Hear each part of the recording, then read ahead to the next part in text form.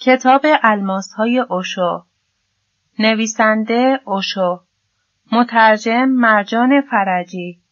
محل نشر تهران. ناشر انتشارات فردوس. چاپ اول. سال انتشار 1380 گوینده مینا ربیعی پور صدا بردار سهیلا حسینی. با بررسی ابوالفضل گیلانی. تهیه شده در کتابخانه عمومی حسینیه ارشاد بخش نابینایان. تاریخ ضبط آذر ماه 1386 تلفن تماس 22 89 4004 الی 7 این کتاب مجموعاً در 413 صفحه به چاپ رسیده است. پیشگفتار مترجم عمر اوشو قد نداد اما عمر هیچ اوشویی قد نمی دهد که به آن درجه از شهامت و آگاهی برسد تا با چاپ کتابی سفید با برگهای سفید بینام و بینشان به مردم این حقیقت را بفهماند که باید امی بود. باید قلم را قسم داد که ای قلم ننویس که اگر همان لحظه را هم بنویسی خواننده را از این دم غافل کرده ای.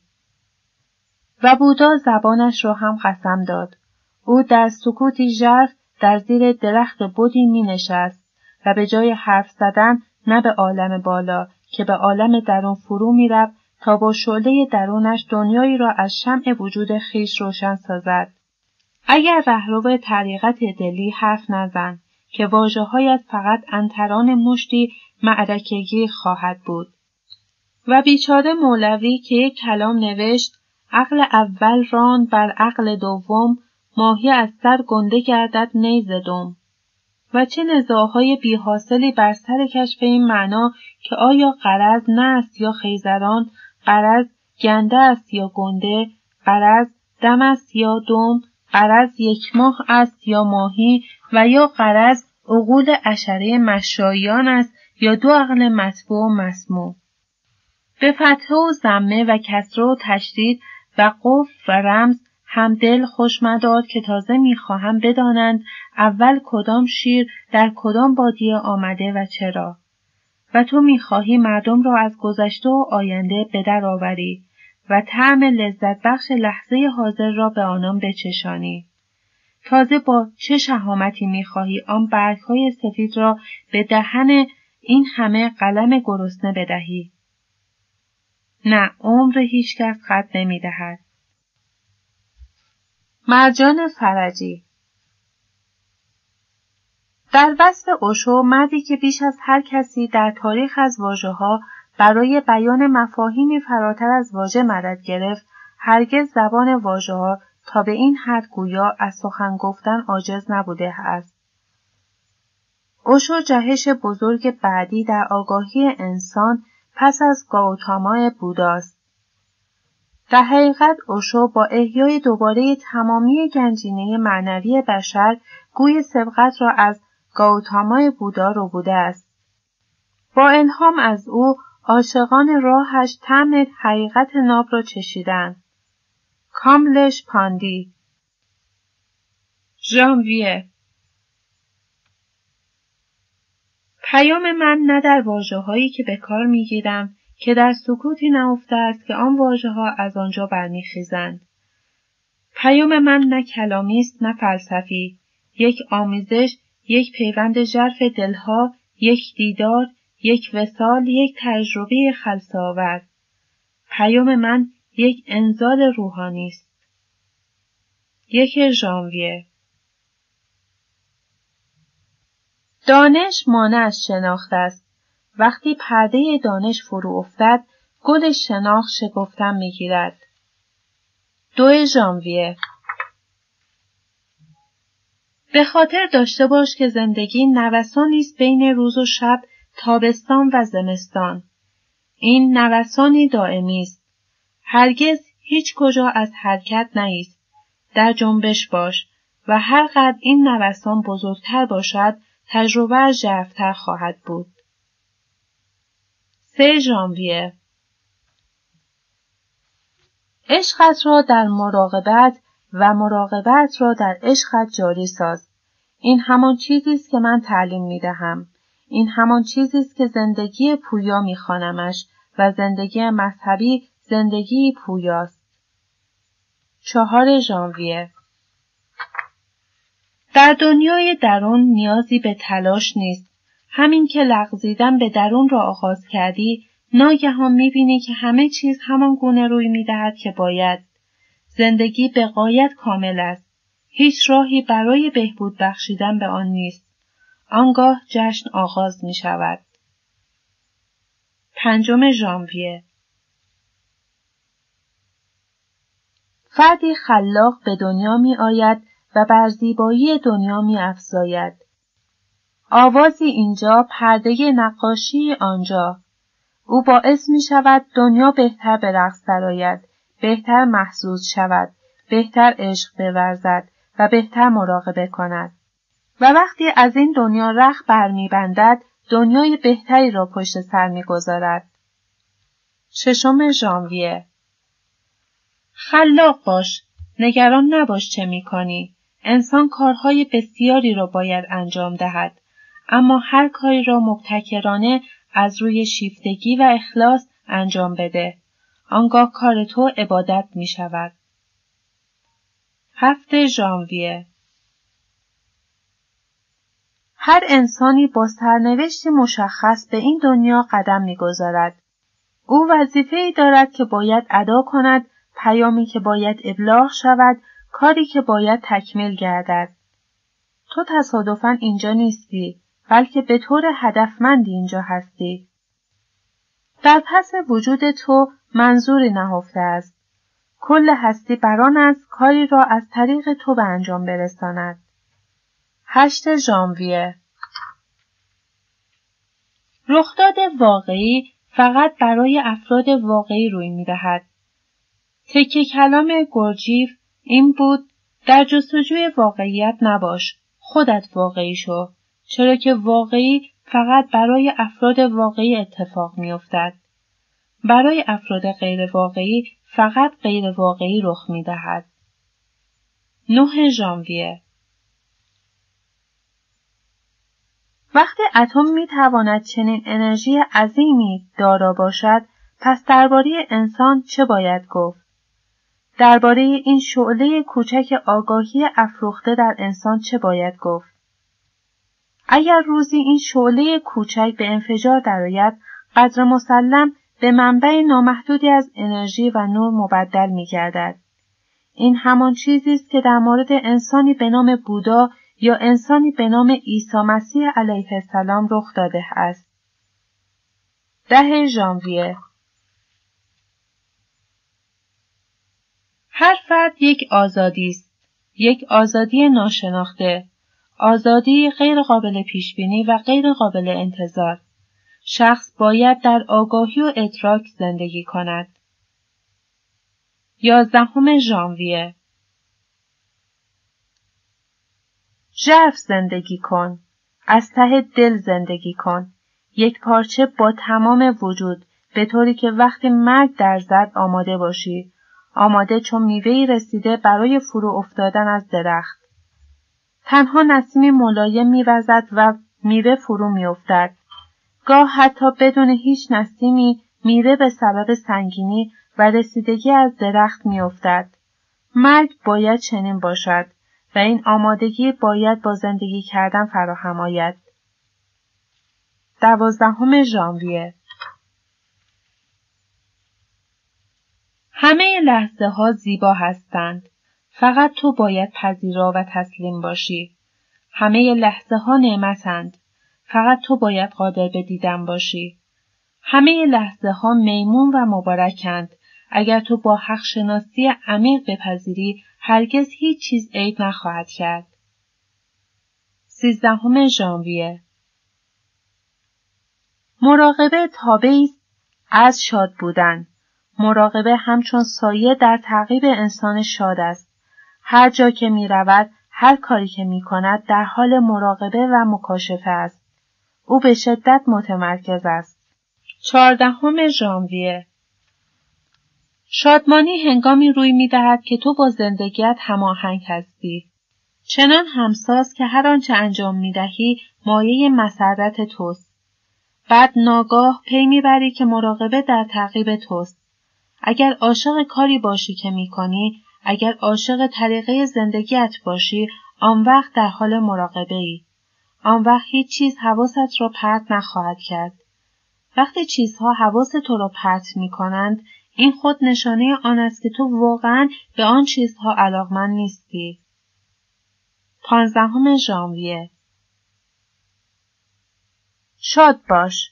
مراقبه خودش به تو دست خواهد داد. شاد باش و مذهب خودش در پی خواهد آمد.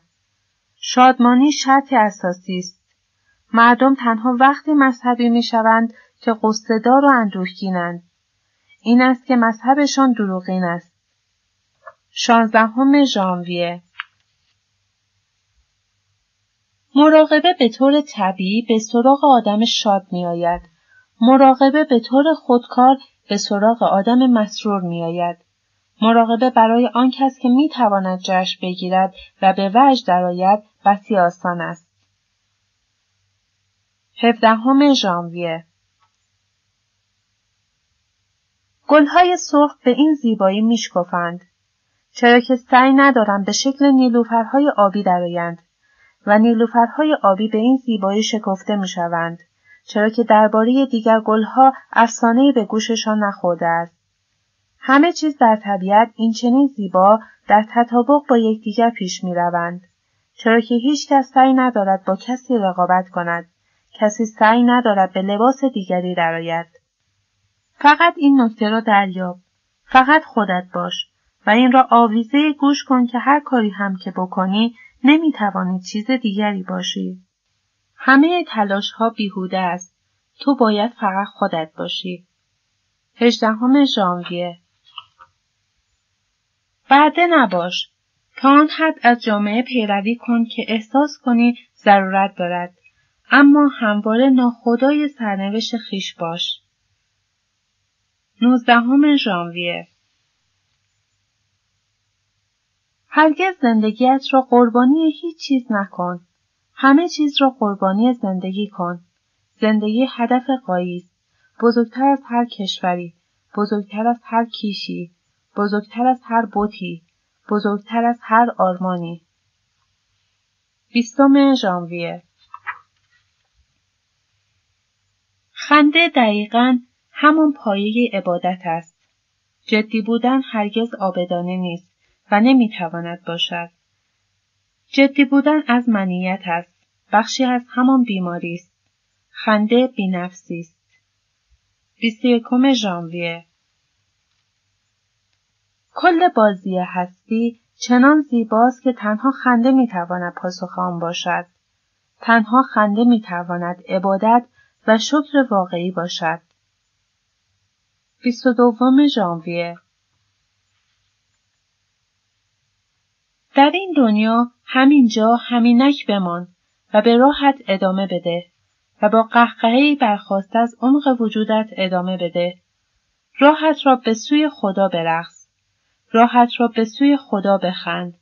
راحت را به سوی خدا آواز بخوان. 23 ژانویه عشق یک آینه است. رابطه واقعی آینه است که در آن دو عاشق چهره یکدیگر را می‌بینند و خدا را باز می‌شناسند. این راهی به سوی پروردگار است. 24 ژانویه سان یا سینهای من به هیچ نژادی، به هیچ کشوری و به هیچ آینی تعلق ندارند. لب کلام های من این است بیرون آمدن از هر نوع زندان، فقط انسان شدن، اعلام جهان شمول بودن خود، اعلام اینکه تمام کره خاکی به ما تعلق دارد. 25 ژانویه معنای مردم سالاری واقعی آن است که مردم کوچه و بازار جماعت مردم دیگر در کنترل زندگی فردی نباشند. مردم سالاری بیشتر پدیده اخلاقی است تا سیاسی، بسیار مهمتر از سیاست. مردم سالاری یک دیدگاه کاملا جدید نسبت به زندگی است. این چیزی است که هنوز هیچ کجا اتفاق نیفتاده. هنوز باید اتفاق بیفتد. مردم سالاری به این معناست هر فرد حق دارد مطابق نگرش خود زندگی کند. نباید او را منع کرد.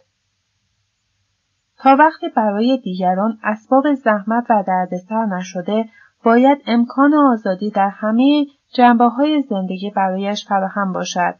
این نگرش من نسبت به دنیای مردم سالار واقعی است. دوست دارم سانیاسین ها هم به همین نحو عمل کنند. مداخله در زندگی هیچ کس. باید نسبت به دیگران احترام عظیمی قائل شد. 26 ژانویه در عشق یک به علاوه یک یک می شود نه دو. در عشق ژرف دوگانگی محو می گردد. ریاضیات پشت سر گذاشته می شود. نامربوط می شود. در عشق ژرف دو فرد دیگر دو فرد نیستند. آنها یکی می شوند. شروع می کنند به عنوان یک واحد به عنوان یک وحدانیت سازمند و تشکلی یافته به عنوان یک شعف مستیاور احساس کنند عمل کنند 27 ژانویه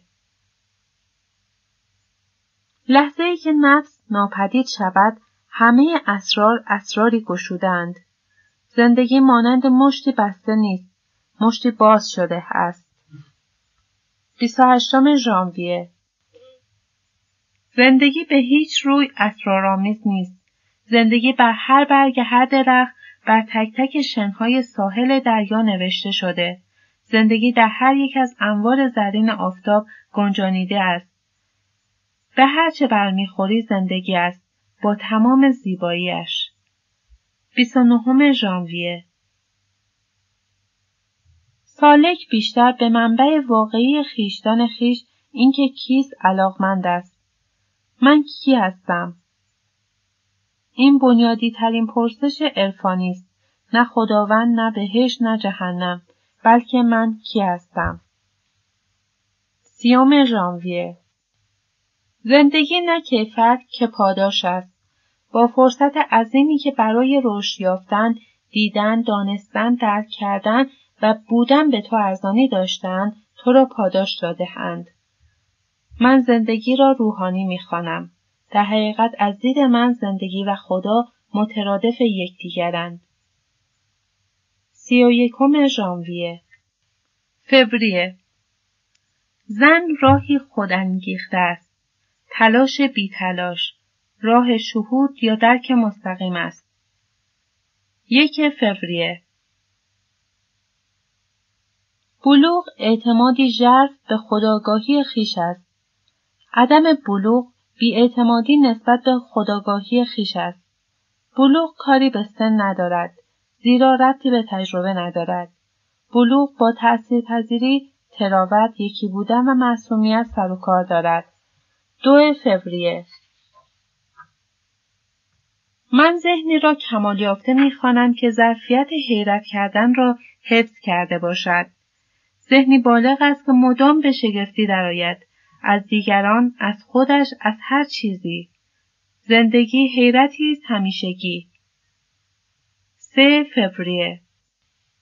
اگر مردم بتوانند کمی بیشتر به جشن و پایکوبی بپردازند کمی بیشتر آواز بخوانند کمی بیشتر لوده باشند انرژی آنها بیش از پیش به جریان افتاده و مشکلاتشان به تدریج ناپدید خواهد شد. به همین دلیل من اینقدر بر شاد زیستن اصرار دارم. شادمانی تا حد از خود بی خود شدن. بزا تمام انرژی به شور و شیدایی مبدل گردد و ناگهان خواهی دید که دیگر سر نداری. انرژی گیر کرده در سرت سراسر به جنبش درآمده، الگوها، تصاویر و حرکت زیبا میآفریند و در این حال لحظه ای فرا می رسد که بدنت دیگر جسم سفت و سختی نیست. انعطاف فضی می شود، جاری می شود. به هنگام شعف و شادی لحظه ای فرا می رسد که مرز تو دیگر آنقدرها واضح نیست. تو زوب می شوی. با کائنات در هم می آمیزی. مرزها در یکدیگر ادغام می شوند. چهار فوریه. زندگی کن بگرد بخور بخواب. کارها را تا حد امکان کامل انجام بده و بارها و بارها به خاطر بسپار. وقت مچت را در حال ایجاد هر مشکلی گرفتی فورا پایت را بیرون بکش. پنج فوریه. اگر زندگی کنی نفس دود می شود و به هوا می رود.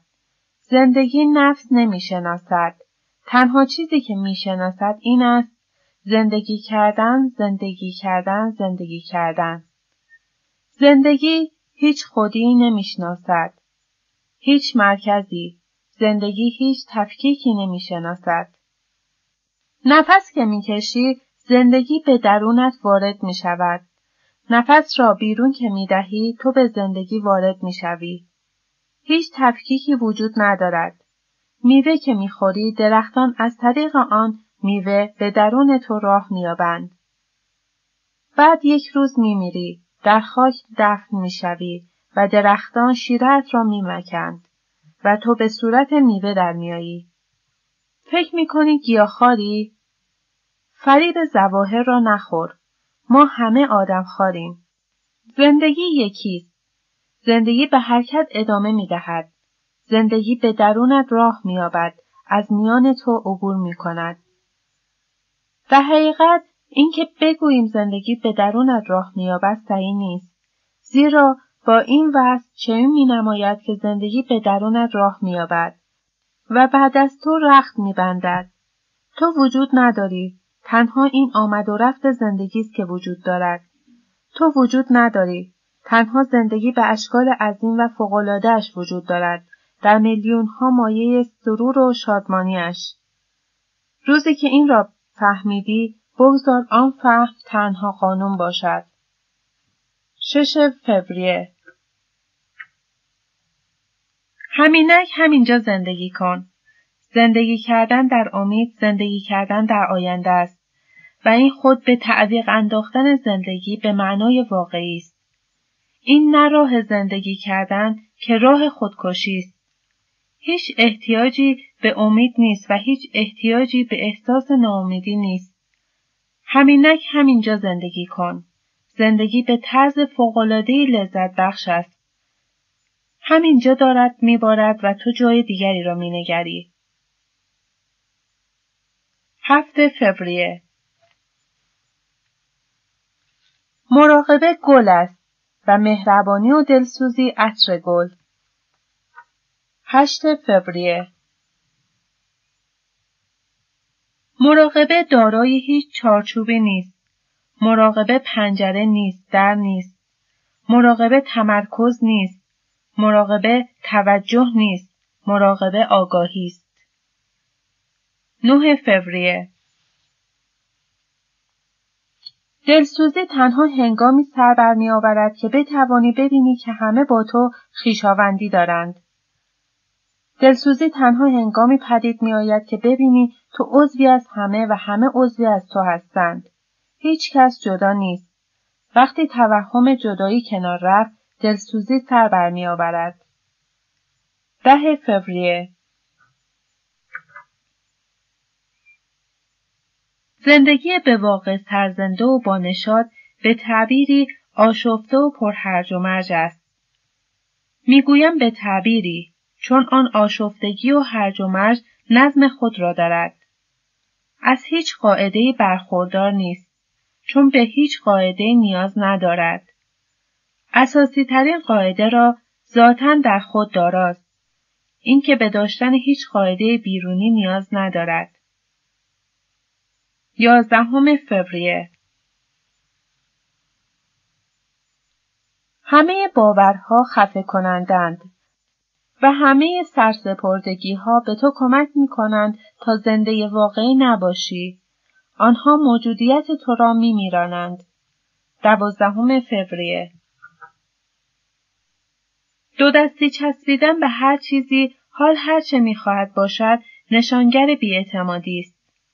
اگر به زن یا مردی عشق میورزی و دو دستی به او چسبیده ای این به تمام معنا نشان می دهد که اعتماد نمی کنی. فوریه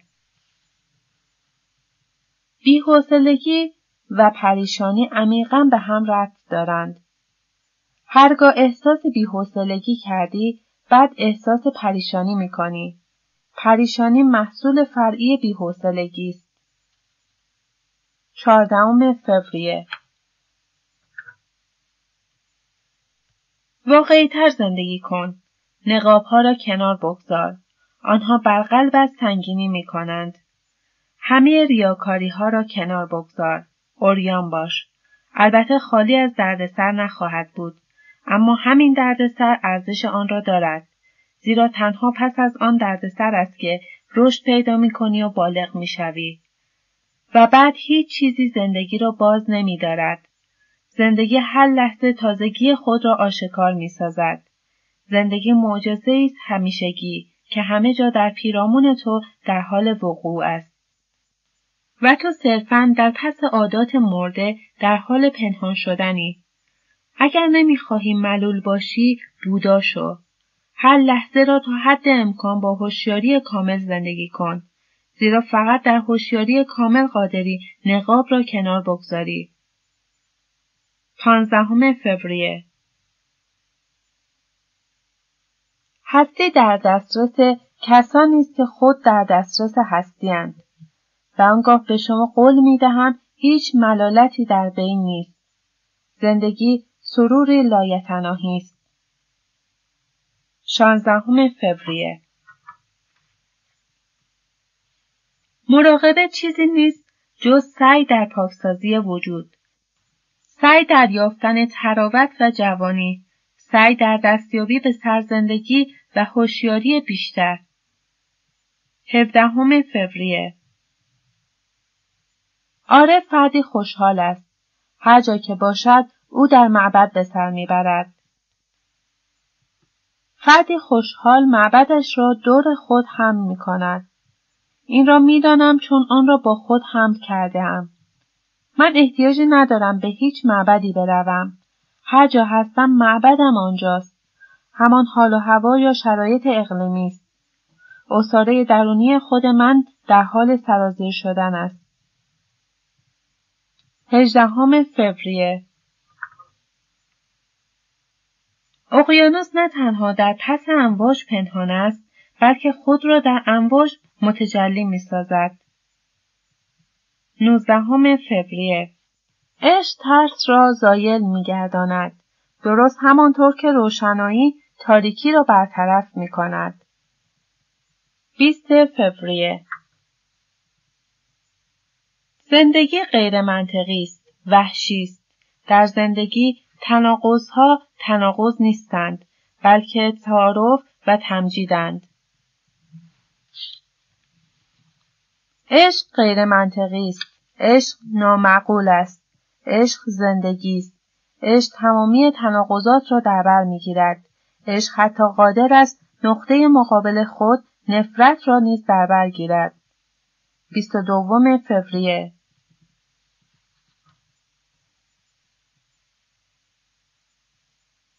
زبان عشق برای ذهن بسیار بیگانه است. ذهن و قلب دورترین قطبهای واقعیت هستند. فاصله هیچ نقطه دورتر از فاصله بین ذهن و قلب نیست. فاصله بین هیچ دو نقطه به اندازه فاصله بین ذهن و قلب، عقل و عشق و منطق و زندگی دور نیست. اگر کسی به خاطر عشق دیوانه شد، دیوانگی او بیماری نیست. در حقیقت او تنها فرد سالم، تنها فرد کامل و تنها فرد مقدس بر روی زمین است. زیرا از طریق قلبش از نو با زندگی پیوند خورده است. 23 فوریه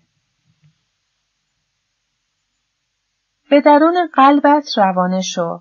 عقل را فراموش کن و بگذار عشق مرکز تو آماج تو باشد. هر ناکامی می تواند به کامیابی مبدل شود و هر احتمال شکستی برای عقل می تواند به توفیقی برای دل بدل گردد. 24 فوریه انسان خوب انسان فهیم است. انسان خوب هوشیار و آگاه همین و بس. برای من تنها ارزش آگاهی است و دیگر چیزها همه بی ارزش. 25 فوریه ذهن یعنی واژه ها، خود یعنی سکوت. ذهن چیزی نیست جز همه واجه هایی که ای. سکوت همان چیزی است که همیشه با تو بوده است. اندوخته نیست. این مفهوم خود است. سکوت کیفیت اصلی و ذاتی توست. 26 فوریه یک قانون بسیار بنیادی زندگی آن است اگر بترسی انرژی را به طرف مقابل می دهی تا تو را بیشتر بترساند. خود ایده ترس در تو عکس ایده را در طرف مقابل ایجاد می کند. 27 فوریه سیاست بیماری بشریت سرطانی به جان آگاهی بوده است. همه سیاست بازی های درونت را دور بریز. 28 فوریه دین بر پایه عقیده یا ایمان قرار ندارد. دین بر پایه بهت قرار دارد. بر پایه حیرت قرار دارد. دین بر رمز و راز استوار است که پیرامون توست. برای اینکه آن را احساس کنی از وجودش با خبر شوی و آن را ببینی چشمهایت را باز کن و قبار ادوار را کنار بزن. آینت را پاک کن و ببین چه زیبایی تو را احاطه کرده چه عظمت خارق‌العادهای مدام بر درهای تو میکوبد چرا با چشمان بسته نشسته ای؟ چرا ماتم گرفته ای؟ چرا نمی‌توانی آواز سر بدهی و چرا نمی‌توانی بخندی؟ 29 فوریه مارس یک چیز را به خاطر داشته باش. هر آنچه به تو احساسی از نفسانیت بخشید مانع است. هر آنچه به تو احساسی از عدم نفسانیت بخشید راه است. یک مارس همه هنر مراقبه آن است که چطور به راحتی شخصیت را ترک کنیم. به سوی دل بشتابیم شخص نباشیم. همین شخص بودن یا نبودن همه هنر مراقبه و همه هنر خلطه معنوی است. دو مارس وقتی عشق میورزی همه جا خداست. وقتی نفرت میورزی همه جا شیطان است. این نقطه نظر توست که بر واقعیت فرافکنی می شود. سه مارس آمیزش جنسی فرایندی است داغ. عشق اینطور نیست. اما در سراسر دنیا مردم همواره از عشقی سوزان دم می‌زنند. عشق گرم نیست. عشق کاملا خنک است. اما نه سرد، سرد نیست چون مرده نیست. خنک است. درست مثل نسیمی خنک ولی نه داغ است و نه گرم. چهار مارس عشق رام شدنی نیست. صرفا چیزی است که روی می‌دهد و لحظه که سعی می‌کنی مهار آن را به دست گیری همه چیز ناکام میماند. پنج مارس این همه هنر زندگی است. مردن لحظه به لحظه به طوری که از خماری بامدادان خبری نیست. شش مارس معبد واقعی آزادی است. گذشته را لحظه به لحظه مردن و حال را زندگی کردن. و آزادی حرکت، حرکت به سوی تاریکی، به سوی ناشناخته، این دری است که به بارگاه الهی باز میگردد. هفت مارس عشق هرگز قادر به تملک نیست.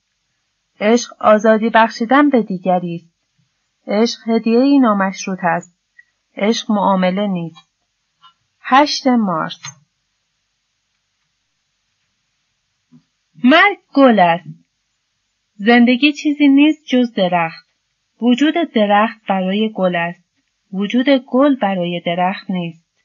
وقتی گل می آید، درخت باید خوشحال باشد و درخت باید به رقص درآید. نه مارس هر لحظه را چنان زندگی کن که گویی واپسین لحظه است. و کی چه می‌داند شاید که واپسین لحظه باشد. دهم مارس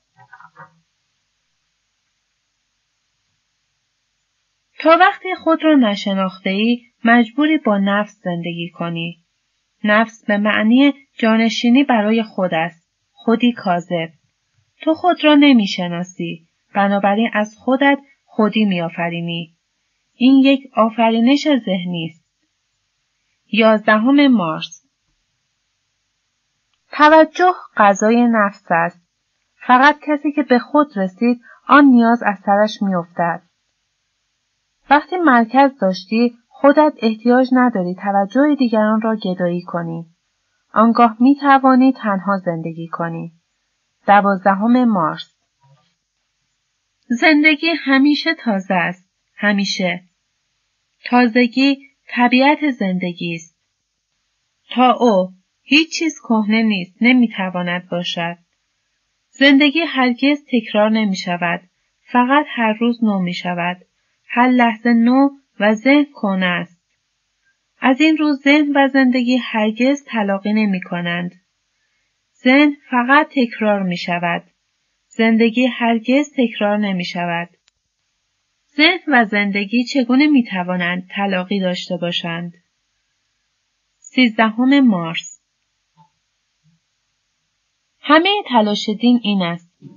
چطور ذهن را کنار بگذار و به سوی زندگی حرکت کن چطور سازوکار تکراری را ترک کن و چطور به پدیده همیشه تازه و همیشه سبز هستی قدم بگذار. چهاردهم مارس عشق نخستین گام به سوی کبریاست و تسلیم آخرین گام و این دو گام کل سفر است. پانزدهم مارس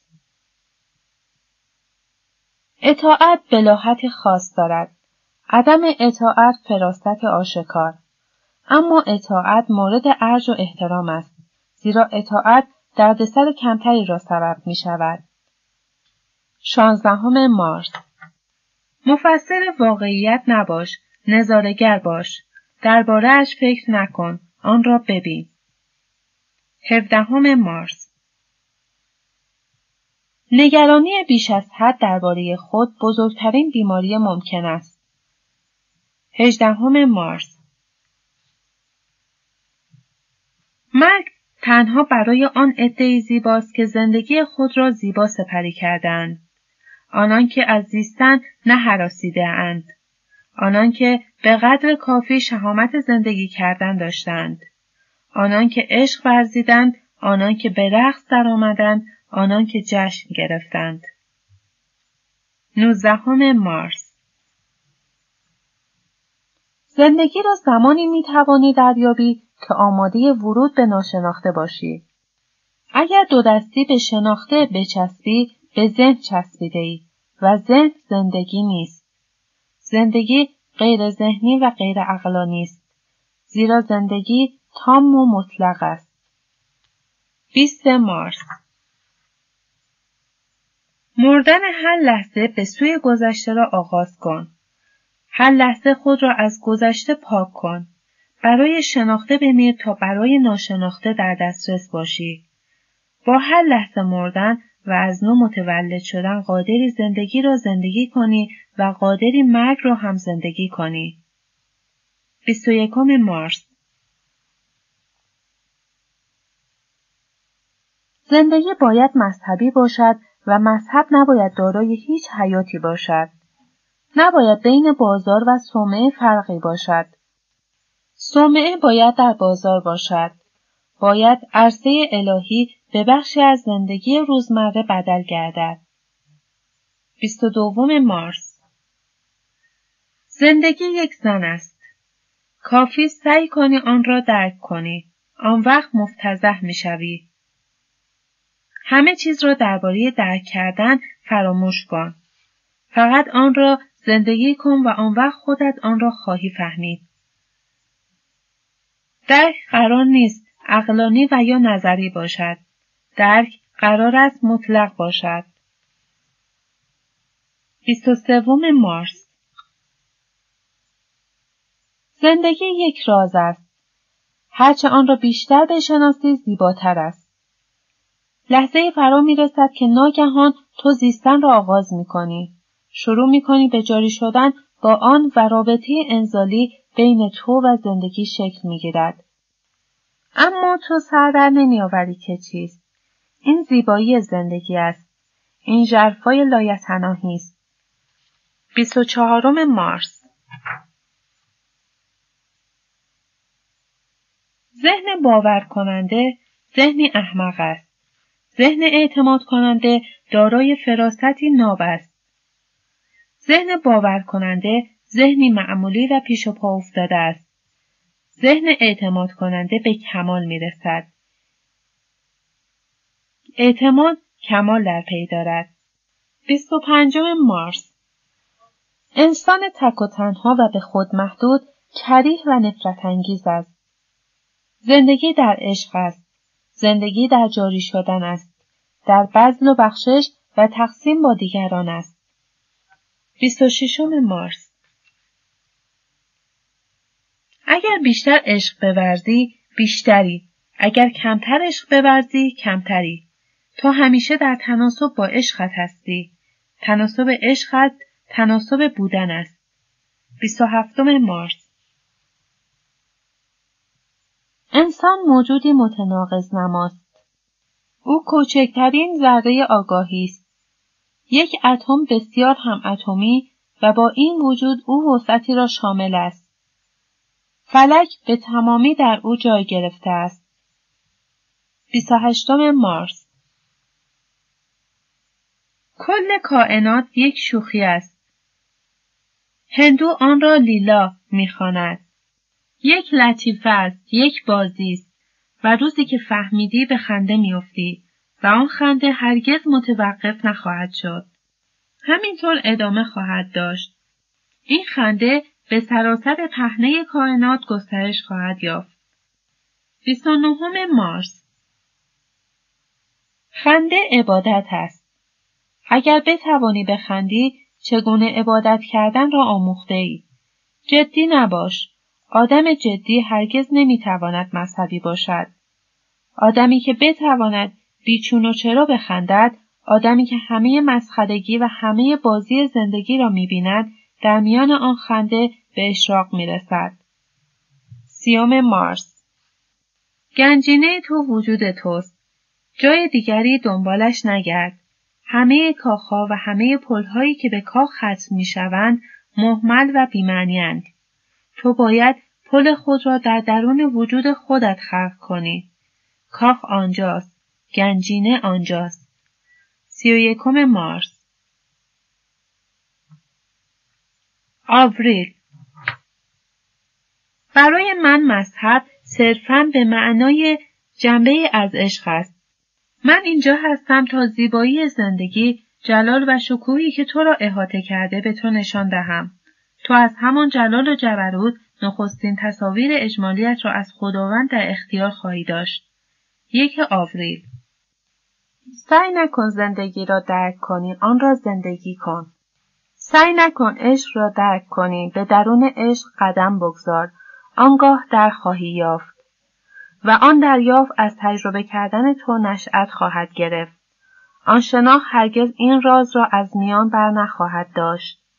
اینکه هرچه بیشتر بدانی بیشتر در میابی که چیزهای بسیاری برای شناختن باقی است. دو آوریل شنا کردن فقط با شنا کردن شناخته می شود. عشق فقط با عشق ورزیدن و عبادت فقط با عبادت کردن. راه دیگری وجود ندارد. عشق را فقط می توان با عشق ورزیدن شناخت. یعنی باید به درون عشق قدم بگذاری بی آنکه چیزی دربارهاش بدانی. به همین دلیل هم عشق به شهامت نیاز دارد. سه آوریل عشق محال را طلب می کند. عشق می گوید در اولین گام باید نفس را رها کنی. چهار آوریل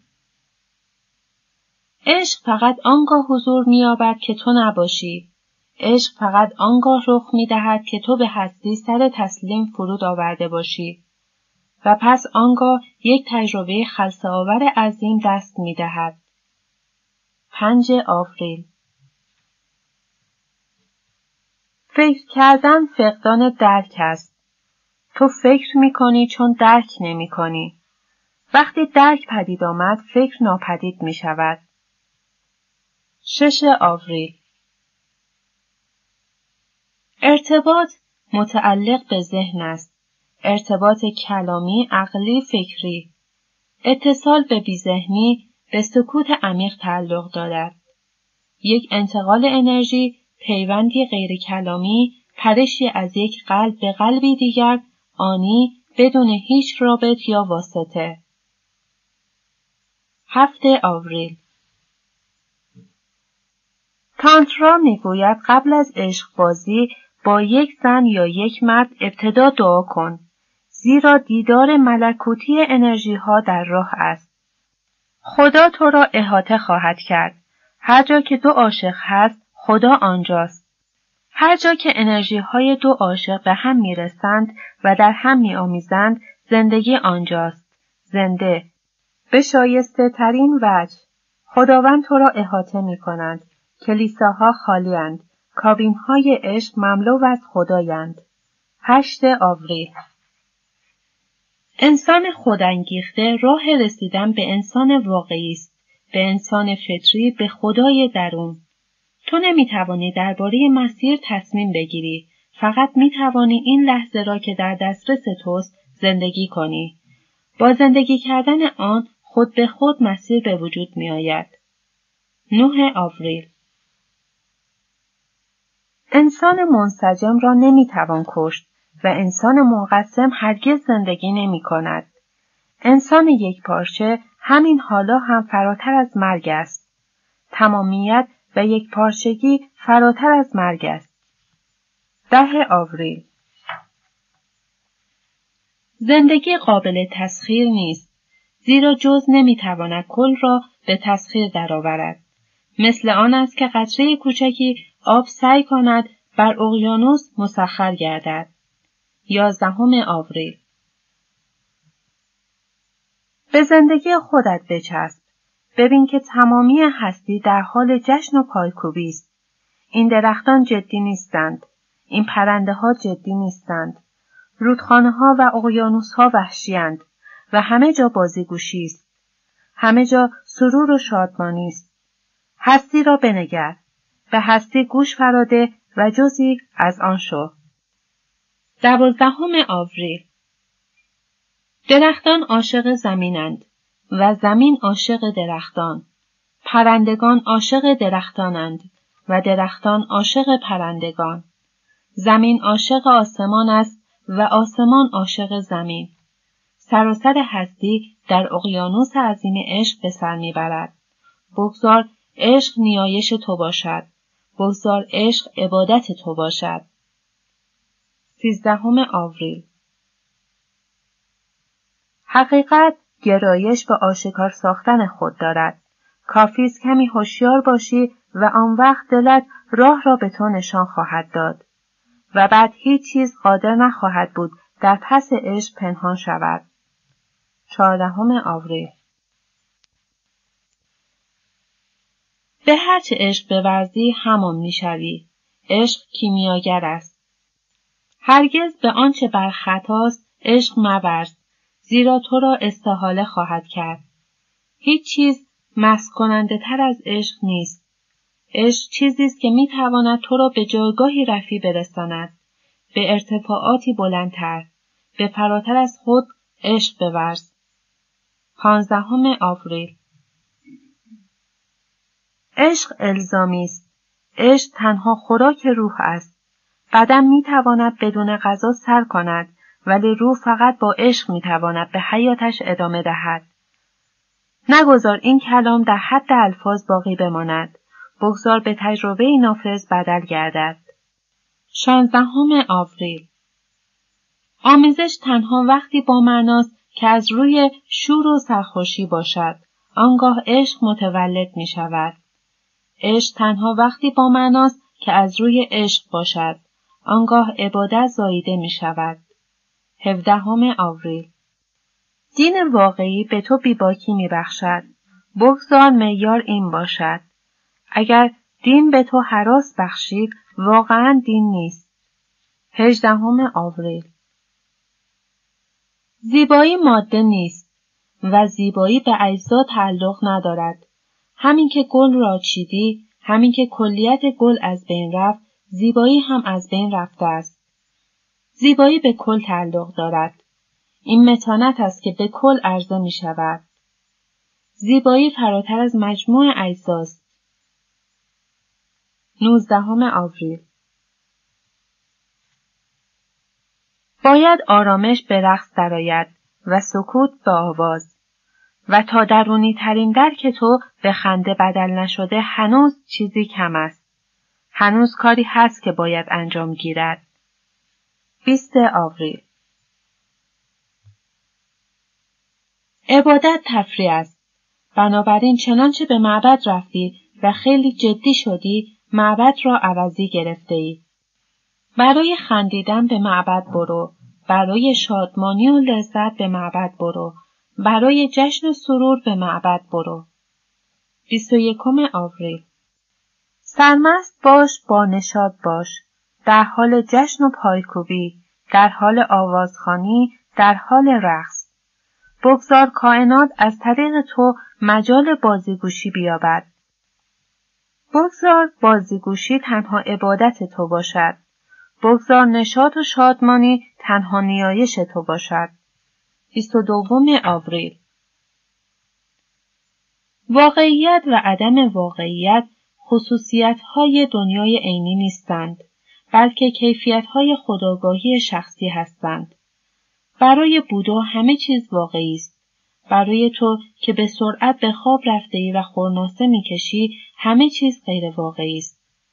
هوشیارتر شو تا دنیا واقعی تر شود. باز هم هوشیارتر شو تا دنیا باز هم واقعی تر گردد.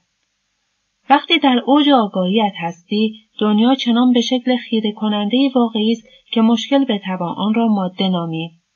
باید آن را خدا خواند. اسم دیگری نمی‌توان روی آن گذاشت. 23 آوریل انرژی شهوت مشابه انرژی عشق است. تفاوت این دو فقط در جهت است. شهوت سرازیر می رود و عشق راه سربالا را در پیش گرفته است. شهوت به مانند ریشه های درخت است و عشق به مانند بالهای پرنده. اما انرژی هر دو یکی است. همه انرژی ها یکی هستند. 24 آوریل درون تو جویباری از زندگی و جویباری از مرگ وجود دارد. جسم جویبار مرگ است و روح جویبار زندگی. روح هرگز نمی میرد. جسم هرگز زنده نیست. وقتی روح و جسم با هم به سر می‌برند، جسم حیات روح را منعکس می سازد. جسم فقط با حیات روح تابناک و درخشان است. 25 آوریل مرد عامل است زن معشوق نه یک عامل. مرد ذهن است زن قلب. مرد قادر به خلق کردن است اما زادن زندگی از او ساخته نیست. بدین سبب به قابلیتی نیاز است قابلیت پذیرش زمین. دانه در دل خاک میافتد در زیر خاک ناپدید می شود و روزی حیاتی نو سر بر می آورد. 26 آوریل خداوند تجربه فوقالعاده از نور، زیبایی و شکوه است. خدا واژه نیست، وسعت است. اقیانوسی بیکرانه که تو چون قطره در آن ناپدید می‌شوی. 27 آوریل خوش باش، لذایز را دریاب. خداوند شی نیست، موزه است. موزه جشن و سرور. قصه را دور بریز. او به تو خیلی نزدیک است. به پایکوبی برخیز. این چهره ماتم زده را کنار بگذار. این توهین به مقدسات است. چه او بسیار نزدیک است. 28 آوریل ذهن مملو از افکار دریاچه مواج و پرچین و شکن است. ذهن آری از افکار دریاچه صاف و بدون چین و شکن است. خدا هنگامی به طور کامل در دریاچه ذهن تو انعکاس می‌یابد که تو آری از چین و شکن باشی. 29 آوریل همین که از گذشته خلاص شدی درکی فوقالعاده به تو دست می‌دهد و تو از آینده نیز رها هستی. سی آوریل مه برای زندگی جاودانه بیاعتباری جایی برای ارزاندام ندارد. نامیرایی تو به تراز بانکی تو وابسته نیست. گدا همانقدر جاوید و نامیراست که پادشاه. یک مه هستی پر از نعمت و فراوانی است. ما قادر به تحلیل بردن آن نیستیم. هستی پایان ناپذیر است به لحاظ زیبایی، به لحاظ لذت بخش بودن و به لحاظ تبرکش. دو مه همه عشق و احترام من نصار کسی است که خود را در بحث بپذیرد همون گونه که هست چنین آدمی شهامت دارد. شهامت دارد تا با همه فشار اجتماعی که می‌خواهد او را شق شقه کنند به خوب و بد به قدیس و معصیت کار به مقابله برخیزد. او موجودی به واقع شجاع و با شهامت است در برابر همه تاریخ بشر در برابر تاریخ اخلاق میستد و واقعیت خود را هرچه که هست به آسمان ها اعلام می دارد. سه مه لحظه عشق صمیمانه و ژرف چنان به اعماق وجودت رخنه می کند که زمان قادر به زدودن آن نیست. عشق آنقدر به پیشروی ادامه می دهد تا خودش را در درونت متولد سازد. این است که می گویم لحظه عشق لحظه جاودانگی است. چهار مه با جسم خود به مخالفت برنخیز. آن خانه توست. بر ضد آگاهیت نباش. زیرا بدون آگاهی شاید خانهت بسیار آراسته باشد اما صاحب خانه نخواهد داشت توهی خواهد بود. آنها در کنار هم زیبایی و زندگی برتر و کاملتری میآفرینند. پنج مه قلب هیچ پرسشی ندارد. با این وجود پاسخ را قلب دریافت می کند. ذهن هزار و یک سوال دارد. با این حال هرگز هیچ پاسخی دریافت نکرده است. زیرا نمی‌داند چطور دریافت کند. شش مه اگر می‌خواهی یک زندگی ساده، زیبا، ساکت، پرنشاد و سعادتمند را زندگی کنی، بگذار ذهن مورد بیاعتنایی قرار بگیرد و بگذار قلب جایگاهش را به عنوان فرمانده بازیابد. این همه کار پویندگان دین است. به هیچ چیز دیگری احتیاج نیست. هفت مه همه چیز می تواند قربانی فرد باشد ولی فرد نمی تواند قربانی هر چیزی باشد. فردیت همان شکوفایی هستی است. هیچ چیز بالاتر از آن نیست. اما هیچ فرهنگی، هیچ اجتماعی، هیچ تمدنی آماده پذیرش یک حقیقت ساده نیست. هشت مه هیچ ارزشی بالاتر از آگاهی نیست. آگاهی بذر الوهیت در توست. وقتی آگاهی به رشد کاملش رسید، تو به تحقق سرنوشت خیش نائل گشته ای. نه از تو می‌خواهم داوری را کنار بگذاری و زندگی آری از داوری را زندگی کنی در کلیت زندگی. و تعجب خواهی کرد که کلیت نه خوب است و نه بد. کلیت چیزی فراتر از جهان مادی است فراتر از خیر و شر. ده همه عشق نه در زندگی کسی مداخله می کند و نه اجازه می دهد کسی در زندگی کسی دخالت کند. عشق به دیگران فردیت می بخشد اما فردیت خودش را از دست نمی دهد. یازدهم مه زندگی به موسیقی نزدیکتر است تا به ریاضیات زیرا ریاضیات به ذهن تعلق دارد و زندگی در ضرب آهنگهای قلب تو به تپش در میآید. دوازدهم مه مردم می‌گویند عشق کور است زیرا نمی‌دانند عشق چیست من به تو می‌گویم فقط عشق چشم دارد. به غیر از عشق همه چیز نابیناست. سیزدهم مه. عشق تو را خالی می کند خالی از حسد خالی از نشعه قدرت خالی از خشم خالی از رقابت جویی خالی از نفس تو و همه نخاله هایش در عین حال عشق تو را سرشار از چیزهایی می کند که اینک برای تو ناشناختند. عشق تو را از رایحه ای خوش آکنده می سازد. آکنده از نور، آکنده از نشاد. چهاردهم مه همه چیزهایی که قابل تجربه اند لزوما قابل توجیه نیستند و همه چیزهایی که قابل توجیه قابل تجربه نیستند. پانزدهم مه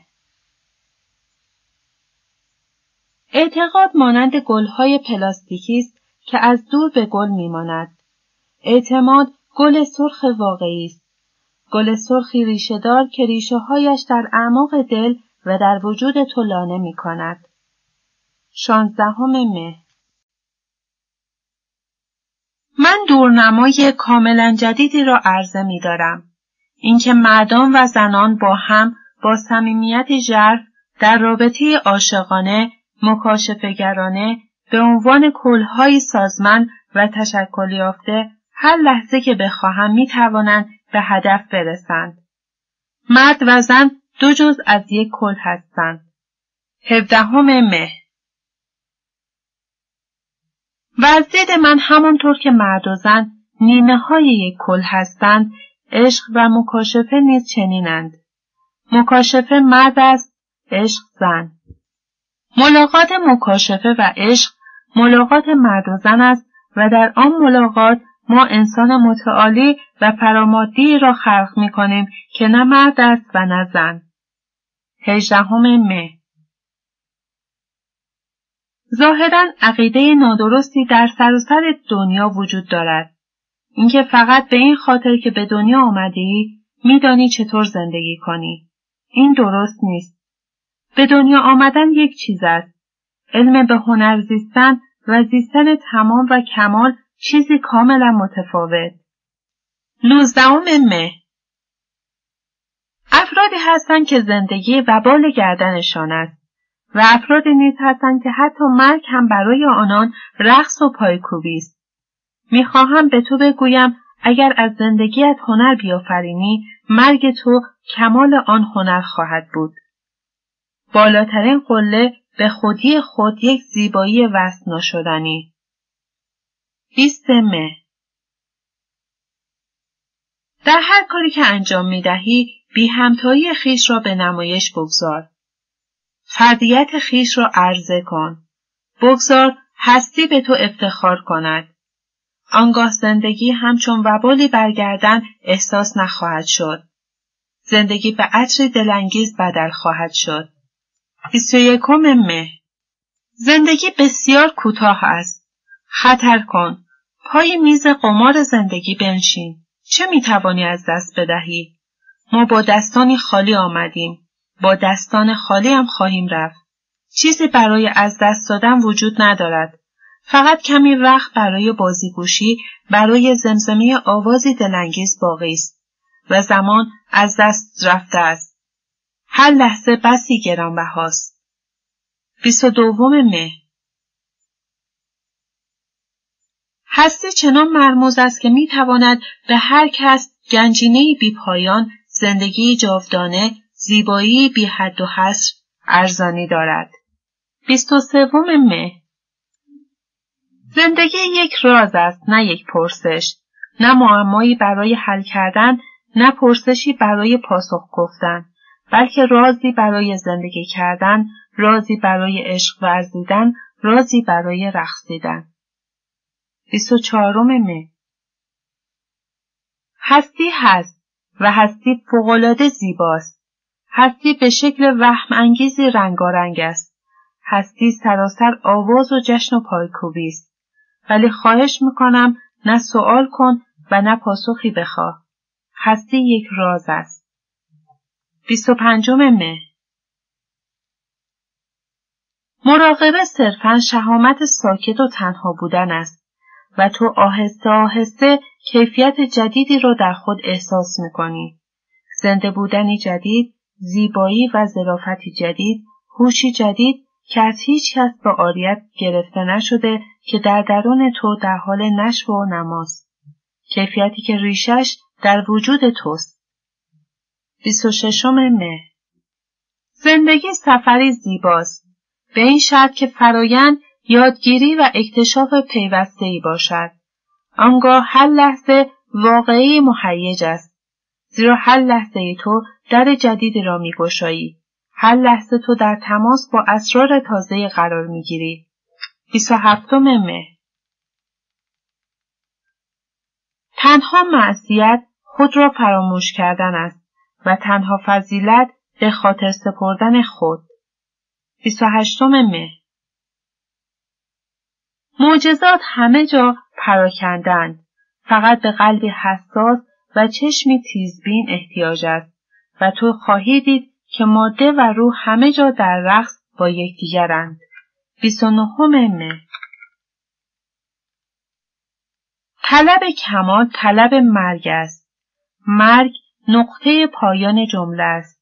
در زندگی تو می توانی از ویرگول ها و نقطه ویرگول ها استفاده کنی ولی نقطه هرگز. سیمه برای من کامل نبودن چیزی نکوهیده نیست. چیزی که می توان در آن مشعوف شد. چیزی که باید قدر آن را دانست. زیرا خودش قاعده اصلی زندگی است. سی یکم مه جوان. ده نافرمان. اول آزادی. دوم فردیت و یگانگی. سوم عشق. چهارم مراقبه.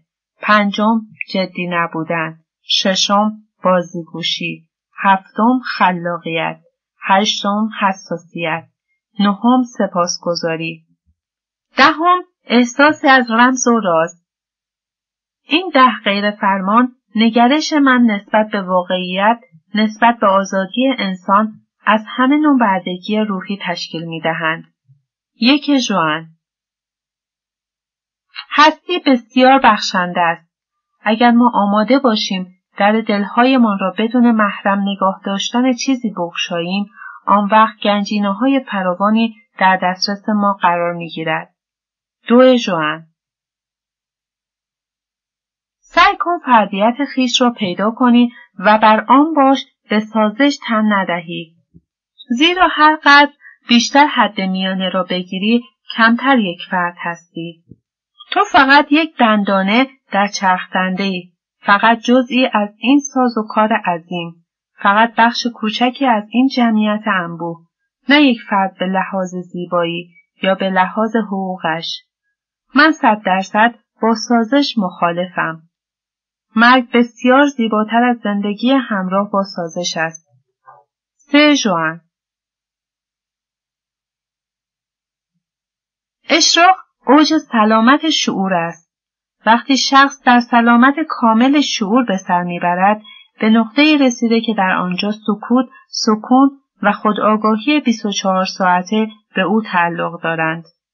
چه در حال بیداری و چه در حال خواب. آنجا رودخانه سیال از آرامش، سعادت و دعای خیر جاری است. نهری از شیر و اصل که ماعده و خوراکی است از فراسو. چهار جوان ما به بال احتیاج داریم. بالهای عشق، نه بالهای منطق. منطق تو را به سمت پایین می کشد. منطق تابع قانون جاذبه است. عشق تو را به سوی ستاره ها می برد. به عارف درونت میدان بده. و خواهی دید همه چیزهایی که ارزش یافتن دارند یافته ای. پنج جوان فقط بیشتر آرام بگیر و همه چیز را بر عهده هستی بگذار. با اعتمادی در بست و انفعالی کامل. غیبت تو حضور الوهیت است. لحظه که نیستی معجزه روی داده است. شش جوان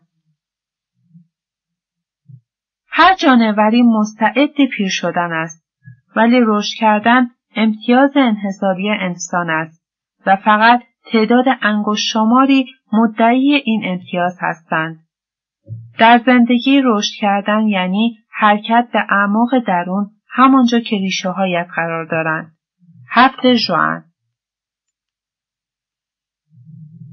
زندگی باید سراسر کند و کاف باشد نه آرزو بلکه کاوش. نه بلند پروازی برای این یا آن شدن.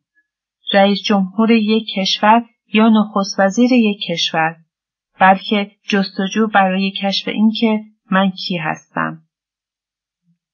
هشت جوان. زندگی باید جشنی یکسره و دائمی باشد. جشن نورها در سراسر سال. تنها آنگاه می توانی رشد کنی شکوفا شوی. چیزهای کوچک و پیش و پا افتاده را به جشن مبدل کن. نه جوان. مراقبه پرواز به فراسوی ذهن است. آن را با آرامش ذهنی کاری نیست. مراقبه نهایت و اوج تجربه لذت است. ده جوان. تاریخ خود را تکرار می کند. زیرا تاریخ به جماعت ناآگاه تعلق دارد. هستی هرگز خود را تکرار نمی کند. هستی بسیار پویا و بسیار مبتکر است. یازدهم ژوئن بیشتر مذاهب و فرق این نکته را تعلیم دادند. از دنیا دست بشوی. من به تو تعلیم می دهم دنیا را دگرگون کن. دوازدهم ژوئن بگذار عشق در تعالی معنوی یاورت شود.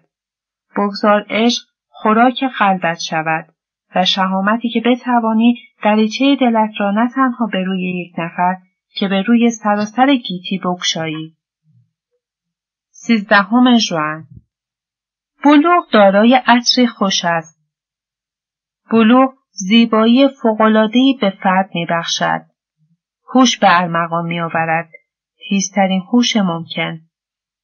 او را سراپا عشق می‌سازد. عمل او عشق است. بیعملی او عشق است. زندگی او عشق است.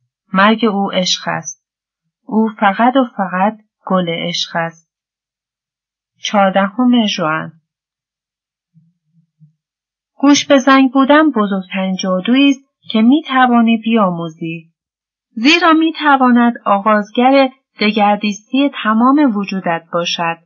فقط از طریق گوش به زنگ بودن است که رستاخیز اتفاق می افتد و تو از نو متولد می شوی. پانزدهم ژوئن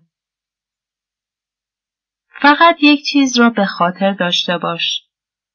ماهیت اصلی تو سکوت، سکون و آرامش مطلق است. تقریبا یک نیستی، یک خلع و این ماهیت بودای توست. ماهیت تویی که تا حد توانش بیدار گردیده. شانزدهم ژوئن هیچ جایی برای رفتن و هیچ چیزی برای رسیدن وجود ندارد. تو در حال حاضر همان جایی هستی که لازم است باشی. تنها گناه طلب کردن است و تنها راه گمراهی گشتن. هفدهم ژوئن رها کردن پیوستگی ها در واقع دست کشیدن از همه نوع بردگی و وابستگی به اشیا و آدم هاست. این آزادی عظیم برای تو در مقام می آورد. تنها آزادی اصیل و واقعی. هجدهم ژوئن مشکل دنیا نیست. مشکل ناهوشیاری توست. از ناهوشیاری خود دست بردار و از دست دنیا آزار نبین. نوزدهم ژوئن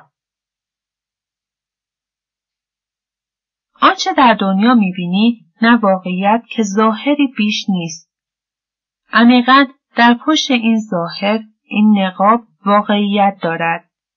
برای شناخت واقعیت باید از ظواهر رها باشی. بیست ژوئن مراقبه پادزهر همه زهرهای زندگی توست. مراقبه خوراک ماهیت اصیل توست. 21 ژوئن پارسای واقعی فرد است. او یکتاست و در یگانگیش زیبایی و شکوه و درخششی عظیم نهفته است. من آن یگانه بودن را به تو میآموزم. من آن زیبایی، آن شکوه و عطر خوش یکتایی را به تو. بیست و دوم ژوئن هرگز هوادار نباش. هرگز دنبال رو نباش. هرگز عضوی از هیچ بساط و تشکیلاتی نباش. به راستی به خودت وفادار باش. به خود خیانت نکن. 23 ژوئن آدم اهل مراقبه به طرز متفاوتی عمل می کند. مهم نیست چه حرفه انتخاب کند. او کیفیتی از قداست را برای حرفش به ارمغان خواهد آورد. 24 ژوئن متدین واقعی به هیچ مذهبی به هیچ ملتی به هیچ نژادی و به هیچ رنگی تعلق ندارد. او به کل انسانیت تعلق دارد. همه ملت ها مال او هستند. 25 ژوئن ذهن به بیرون باز می شود و مراقبه به درون. ذهن دری است که در دنیا تو را به بیرون رهنمون است و مراقبه دری است که تو را به عالم درون هدایت می کند. درونی ترین زیارتگاه وجودت و ناگهان تو به اشراق می رسی. 26 ژوئن. مذهب سرکش است و انسان مذهبی اسیانگر. او بر ضد همه راستینی ها بر ضد همه سنت ها بر ضد همه ایدئولوژی ها به اوسیان برمیخیزد. تنها عشق او عشق به حقیقت است و همه عشق او برای دستیابی به حقیقت. فقط چنین انسانی آن را مییابد. 27 ژوئن. زندگی را با تمامیت آن زندگی کن و در دنیا زندگی کن از آن نباش در دنیا همچون نیلوفر آبی زندگی کن. در آب نیلوفر آبی در آب زندگی می کند ولی آب به آن دست نمیازد. 28 ژوئن اکنون علم به مراقبهگران بزرگی نیاز دارد وگرنه این کره خاکی محکوم به نابودی است. اینک علم به افراد احتیاج دارد که بتوانند اسهان خود را به کار گیرند. کسانی که مالک وجود خیشند کسانی که قادرند علم را به شیوه خداگاهانه به کار گیرند. در غیر این صورت ما در مرز یک خودکشی جهانی به سر می‌بریم. 29 ژوئن. سیاستبازان نابالغترین اسهان دنیا هستند. فقط زنهای دست سوم به تزویر علاقمند می‌شوند. افراد پیش پا افتاده و افرادی که از عقده حقارت رنج می‌برند سیاست باز می شوند. سی جوان جوییه هر قدر حساستر و حساستر می‌شوی پر احساستر و پر احساستر زیبایی بیشتر و بیشتری را در پیرامون خود خواهی دید. بصیرت تو هر قدر باشد این زیبایی عظیمتر است و وقتی تو کل هستی را به شکل رقصی با شکوه یک جشن می‌بینی به این وسیله آزاد می‌شوی. این جشن است که آزادی میبخشد. عشق است که آزادی میبخشد. این زیبایی است که آزادی میبخشد. نه علوم مابد و طبیعه یا فلسفه. یک ژوئیه کسی که به خودش اعتماد می کند نسبت به زیباییش شناخت مییابد. به این شناخت می‌رسد که هر قدر بیشتر به خود اعتماد کنی بیشتر شکوفا می‌شوی. بیشتر در حالتی از رهایی و فراقی بال قرار داری. هر قدر بیشتر در صلح و صفا و آسودگی خیال باشی ساکنتر و خنکتر و ساکتتری. دو ژوئیه. کشف حقیقت طاقت فرساست. به سفر زیارتی دور و درازی نیاز دارد. به تخلیه فوقالعاده ذهن، به پاکسازی فوقالعاده دل، به معصومیتی خاص و به تولدی دوباره نیاز دارد. از نو باید کودک شوی. سه ژوئیه شعر و شاعری سرازیر شدن کل به درون جز است. ناپدید شدن اقیانوس به درون قطره شبنم شاعری معجزه است. چهار ژوئیه. زندگی بدون نفس فیض الهی است. موسیقی است.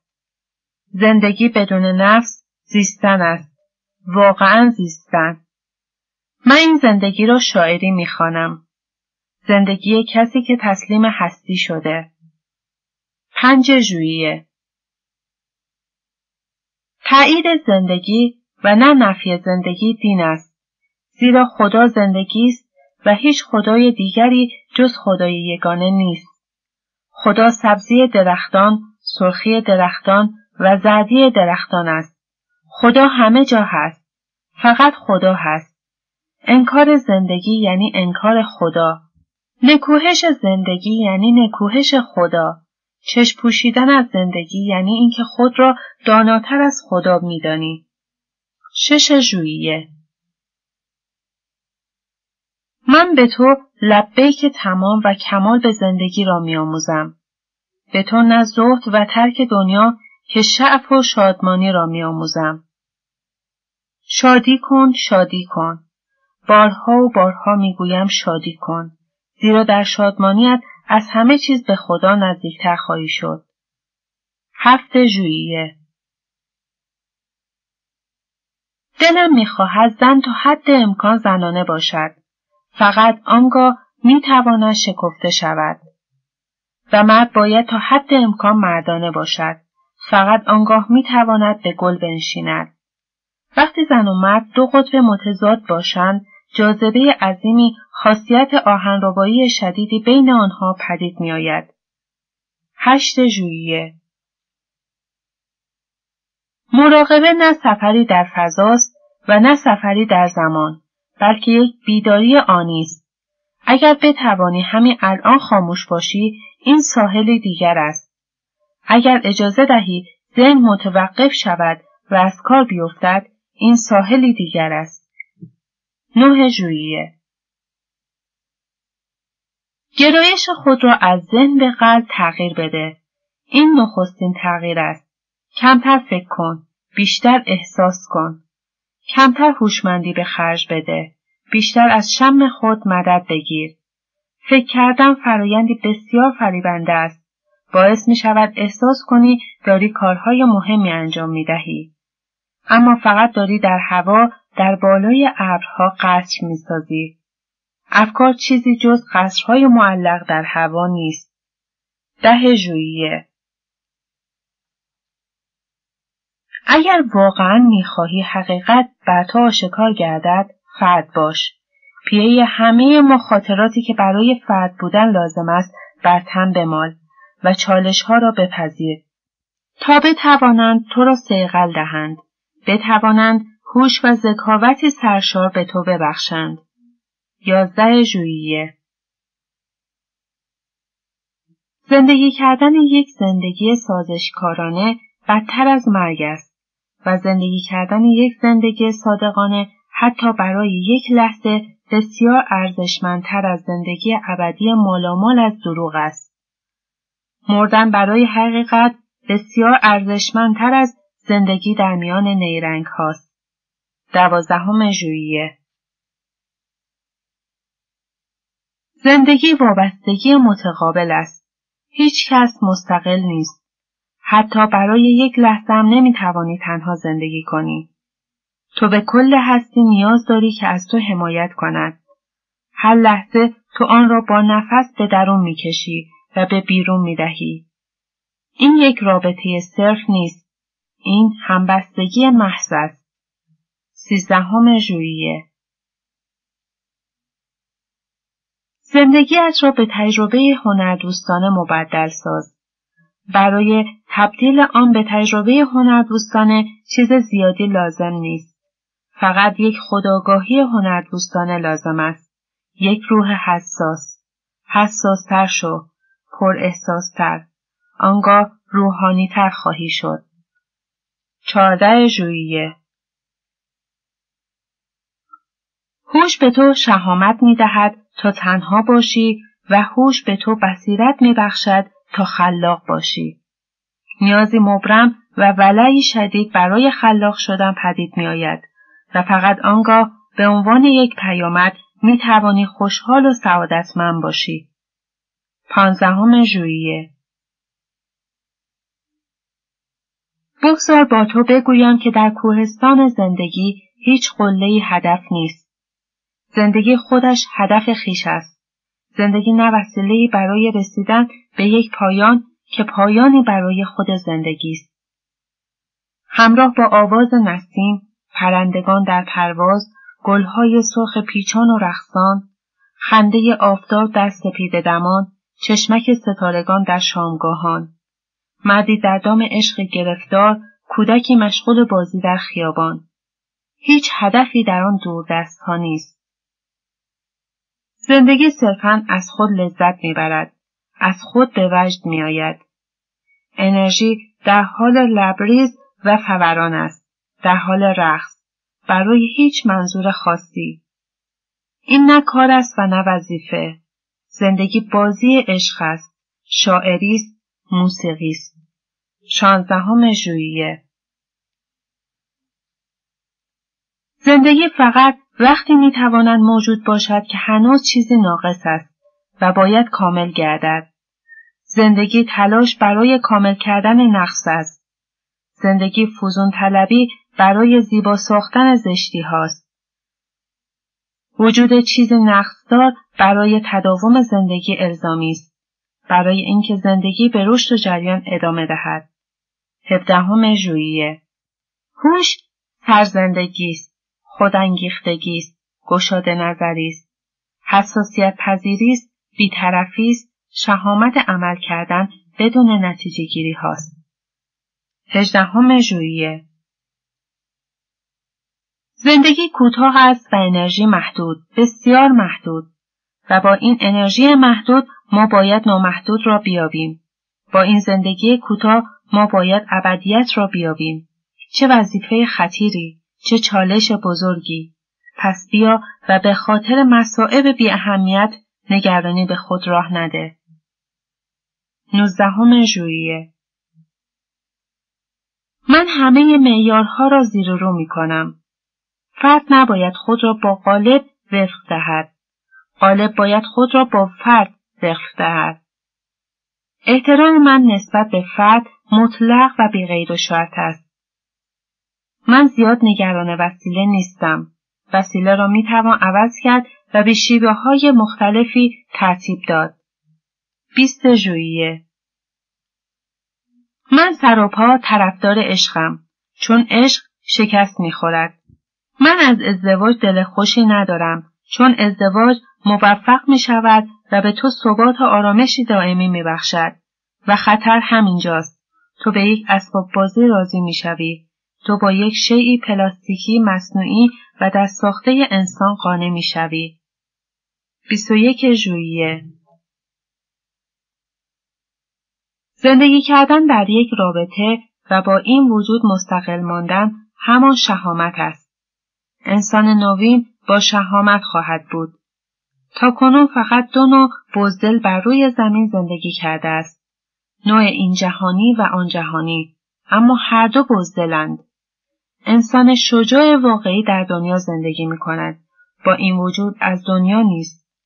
بیست و دوم ژوئیه وقتی آوازخانی آواز سر می دهد کنارش بنشین.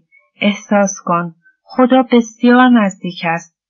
وقتی کسی فلوت می نوازد پشت درخت پنهان شو و گوش بده و تو قادر خواهی بود چیزی را ببینی چیزی که از این دنیا نیست چیزی که ماوراست خلاقیت همیشه از ماوراست 23 ژوئیه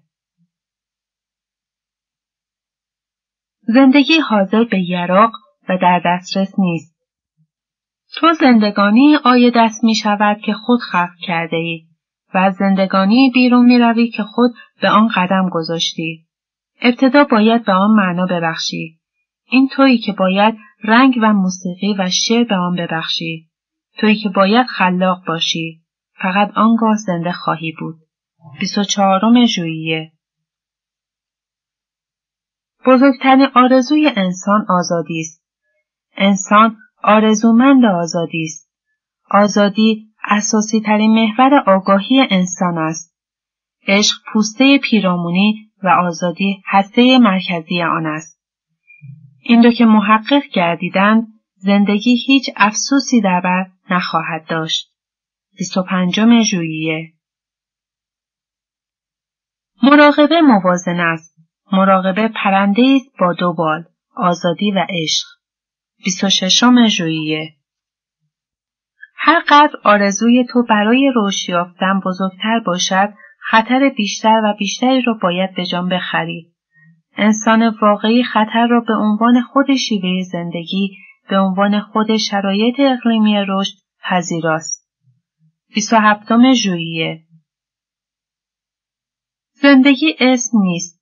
در واقع زیستن است نه زندگی. عشق نیست. عشق ورزیدن است. رابطه نیست. ربط یافتن است. آواز نیست. آواز خواندن است. رقص نیست. رقصیدن است. 28 ژوئیه لازم است خود را به یاد آوری. لازم است مشعل آگاهی معنوی شوی. آگاهی چنان عمیق که حتی در رویاها نیز حضور خواهد داشت. آگاهی چنان تبلور یافته که حتی در خواب عمیق خواب بیرویا آنجا همچون چراغ فروزان در حال سوختن است. 29 ژوئیه عشق مرزی است که ماده و آگاهی را جدا می کند. مرز بین فرودین و فرازین عشق ریشه هایی در زمین دارد و آن رنج عشق است. عذاب عشق است و عشق شاخههایی در آسمان دارد و آن خلصه عشق است. سی جوییه آمیزش باید بزرگترین هنر مراقبه شود. این پیشکش تانترا به دنیاست. پیشکش تانترا از همه عالی تر است. زیرا کلیدهایی را در اختیارت قرار می دهد که از پسترین به والاترین استحاله پیدا کنی. کلیدهایی را در اختیارت قرار می دهد که لجن را به نیلوفر آبی بدل کنی. سی و یکم ژوئیه آگوست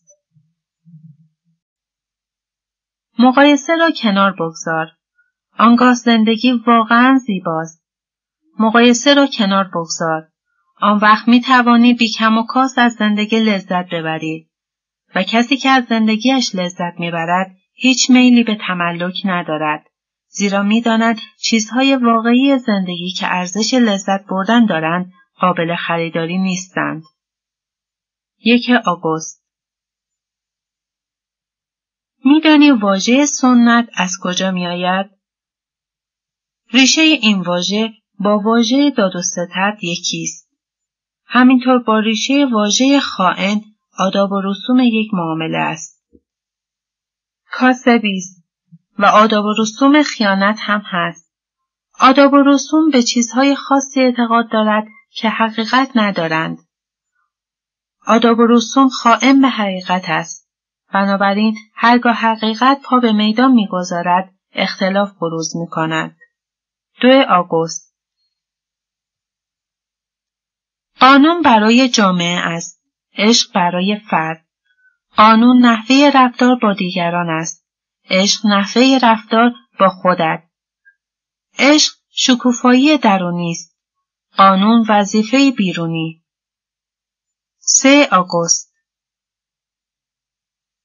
من لذت پرستم و تا آنجا که می‌دانم همه آنهایی که شناخت پیدا کرده اند هرچه هم بگویند همواره لذت پرست بودند. بودا، عیسی، مسیح علیه السلام، کریشنا همه لذت پرستند. خداوند قایت لذت پرستی است. او اوج شادمانگی است. چهار آگوست هیچ سنگی را دور نینداز چون بسیار اتفاق افتاده که سنگی را که بناها به دور انداختند آخر سرسنگ بنای اصلی همان ساختمان شده. پنج آگوست شاد باش تا دیگر حسود نباشی. شاد باش تا دیگر جاه طلب نباشی. شاد باش تا نفس ناپدید گردد. نفس فقط در اعماق ناشادمانی و بدبختی می‌تواند ادامه حیات دهد. نفس ساکن در جهنم است. نفس فقط در جهنم تاب می آورد. شش آگوست شخصیت کشنده است. هر قد بیشتر شخصیت داشته باشی کوچکتر می شوی. شخصیت زرهی است دور تا دور تو. زرهی که تو را محدود می کند و هر محدودیتی مرگ است. بگذار تکرار کنم. هر محدودیتی یک مرگ است. فقط نامحدود زنده است. هفته آگوست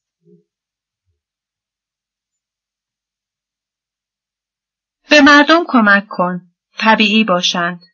به مردم کمک کن. آزاد باشند.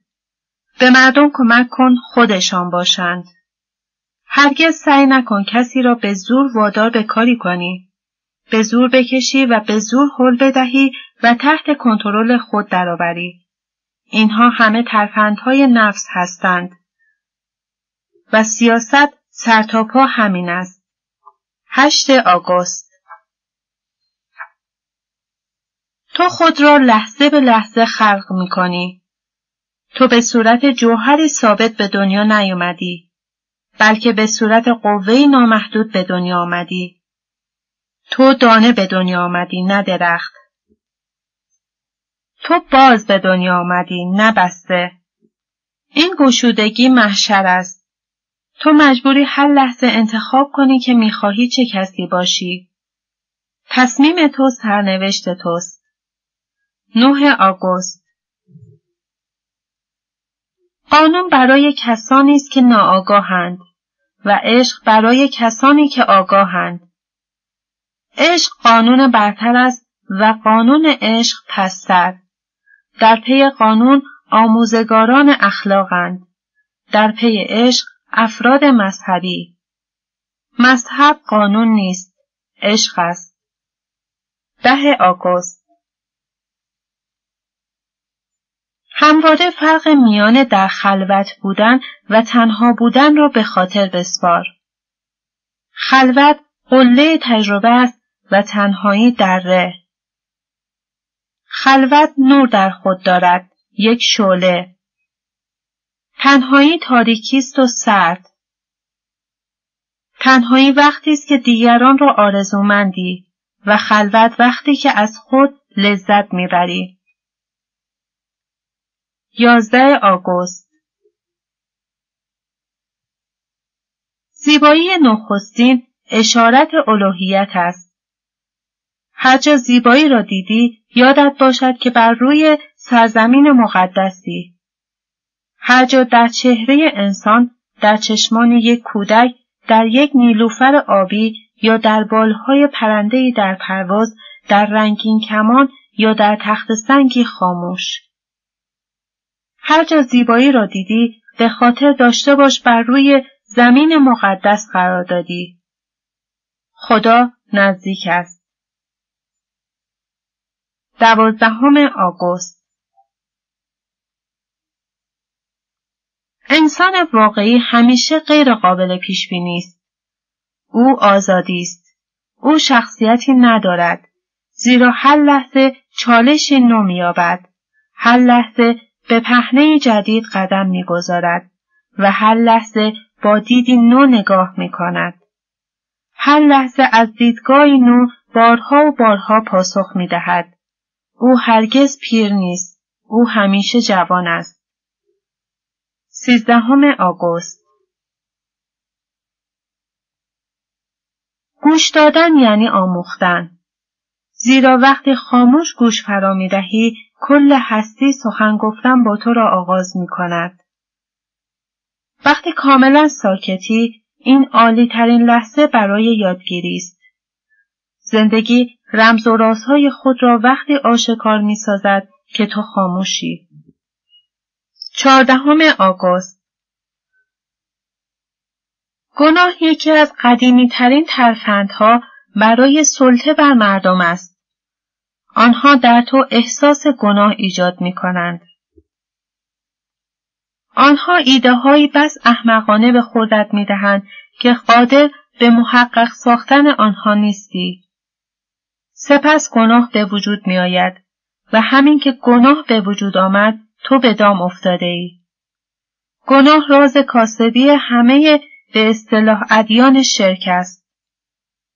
پانزدهم آگوست روحانیت یکیست. مذاهب بسیارند. اصرار من در اینجا بر استحاله درونی است. من به تو مذهب را نمی آموزم. من به تو روحانیت را می آموزم. شانزدهم آگوست ما همه چیز را جشن می گیریم. جشن راهی برای دریافت همه هدایا از طرف خداست. زندگی هدیه اوست. مرگ هدیه اوست. جسم هدیه اوست. روح هدیه اوست. ما همه چیز را جشن می‌گیریم. ما به جسم عشق میورزیم. ما عاشق روحیم. ما روحانیون دنیوی هستیم. هفدهم آگوست هستی همواره در پی جبران نیکی های توست. هرچی به هستی ببخشی هزاران برابرش را به تو باز میگرداند. هستی به تو باز میگردد. تو یک شاخ گل هدیه می کنی و هزاران شاخ گل از همه سو بر سر و رویت باریدن می‌گیرد. به مالت نچرس. اگر مایلی واقعا ثروتمند شوی، اگر می‌خواهی دنیای درونی غنی و پرمایهای داشته باشی، هنر بخشش را بیاموز. هجدهم آگوست انسانیت همه رشد و شکوفایی خود را به عده انگشت شمار مدیون است. نه توده های کثیر مردم. نه ابدا. توده ها صد راه بودند. مثل سنگ های روی جاده مانع از رشد جامعه بوده اند. جامعه فقط از تعداد معدودی دانشمند، تعداد معدودی عارف، تعداد معدودی مبتکر سود برده است. دیگران فقط به هر طریقه ممکن راه را سد کردند. 19 آگوست تا حد امکان کامل و با تمام وجود زندگی کن. زیرا از راه زندگی عمیق و پرشور است که خدا را میابی. خدا چیزی جز زندگی سپری شده در حد کمال و با بیپروایی مطلق نیست. رقصی چنان تمام ایار که رقصنده ناپدید میگردد و فقط رقص میماند. 20 آگوست دلم می‌خواهد تو همزمان زربای یونانی و گاوتوامای بودا با هم باشی. کمتر از آن به درد نمی‌خورد. زربا نماینده زمین با همه گلها و گیاهان سبز و کوهسارها و رودخانه ها و اقیانوسهای آن است و بودا نماینده آسمان با همه ستاره ها و ابرها و رنگین کمانهایش 21 آگوست نفس آدمی است بی نفسی الوهیت نفس جهنم است فقدان نفس بهشت 22 آگوست خداوند همیشه در حال شوخی است به زندگی خودت نگاه کن. خنده آور است.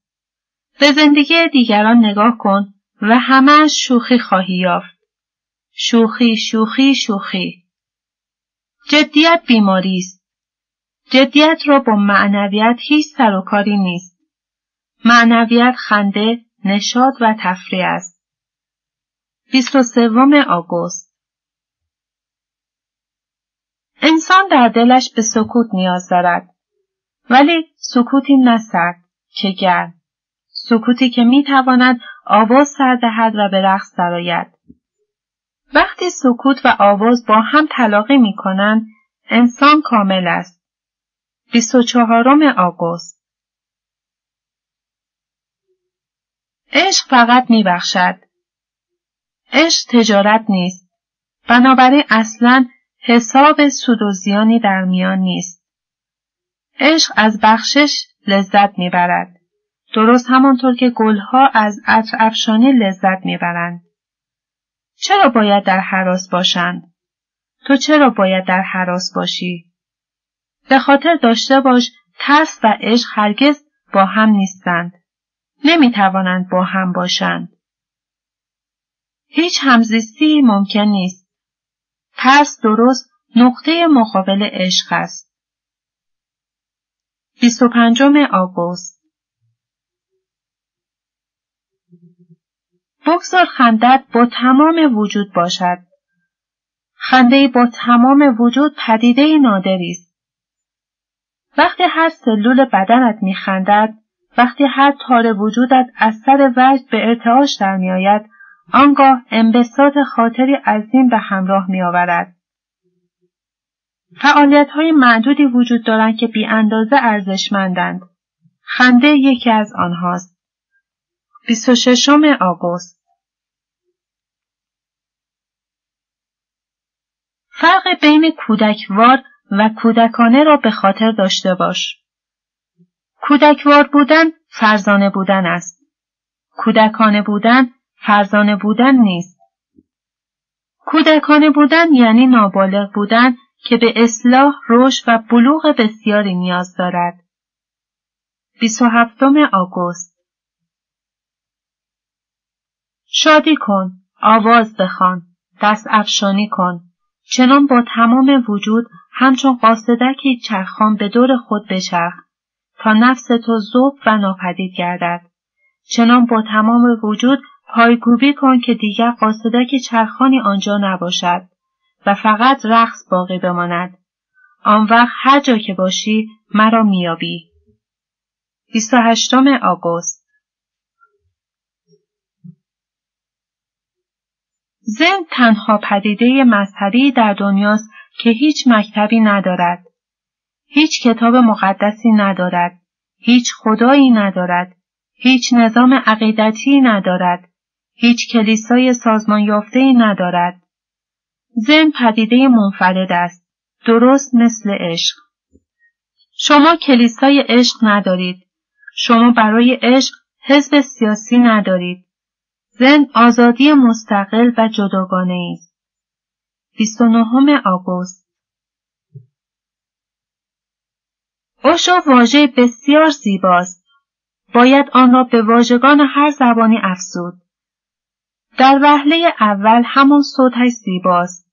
اوشو این واژه احترام، عشق، حقشناسی و شکر را نشان می دهد. فقط یک واژه خوش مثل عالی جناب نیست. واژه بسیار دوست داشتنی و آشناست. تقریبا حال و هوای محبوب را دارد. سی آگوست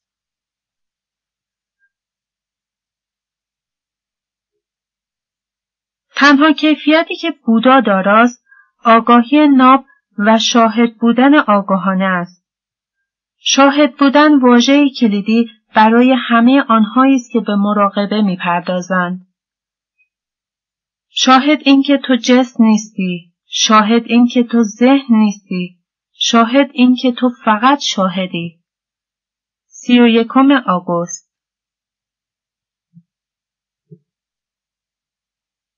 سپتامبر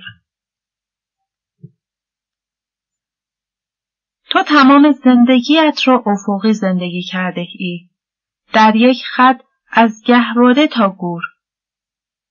در مراقبه دگردیسی اتفاق میافتد. تو دیگر خط افقی نیستی. عمودی می‌شوی. تو به بلندترین قله خداگاهیت صعود می کنی و به ژرفترین نقطه خداگاهیت دست میازی. یک سپتامبر مراقبه تغییر شکل را از درون پدید می آورد. مراقبه تحمیل اخلاق و انضباط از بیرون نیست. هر چیزی که از بیرون بیاید بیارزش است. اخلاق، وجدان، معنویت. حال هر اسمی که می‌خواهی روی آن بگذار. فقط آنچه در درونت مانند یک نیلوفر آبی شکفته می شود دارای ارزش قایی است. دو سپتامبر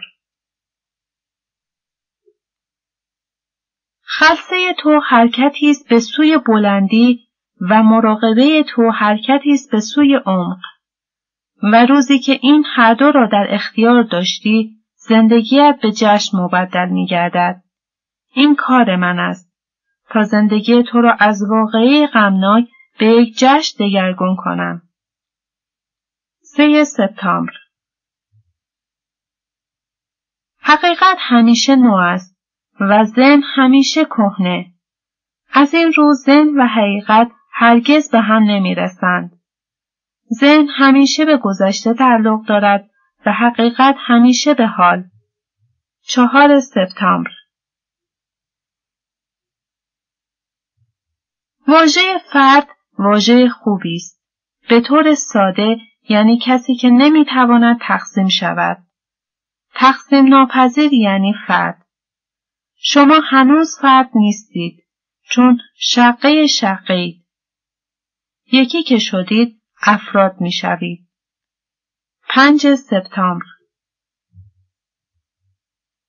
باهوش بودن یعنی بهشت خود را خلق کردن. شادمانی خود را خلق کردن. وگرنه چیزی آنجا نیست. اگر آن را خلق کنی آن را داری. درست مثل نفس کشیدن است. اگر نفس بکشی زنده ای. اگر نفس نکشی زنده نیستی. شش سپتامبر بگذار این قاعده اساسی زندگی باشد. یکی از اساسی ترین قواعد. هرچه نسبت به خودت باشی، نسبت به دیگران هم همان خواهی بود. اگر خود را دوست بداری، دیگران را هم دوست خواهی داشت. هفت سپتامبر سعی نکن عمل خود را عوض کنی. سعی کن وجودت را بیابی و عمل به دنبال خواهد آمد. عمل فرع است و وجود اصل. عمل چیزی است که تو انجام می دهی و وجود چیزی که تو هستی. هشت سپتامبر این زیبایی است. این نمایشنامه زندگی است.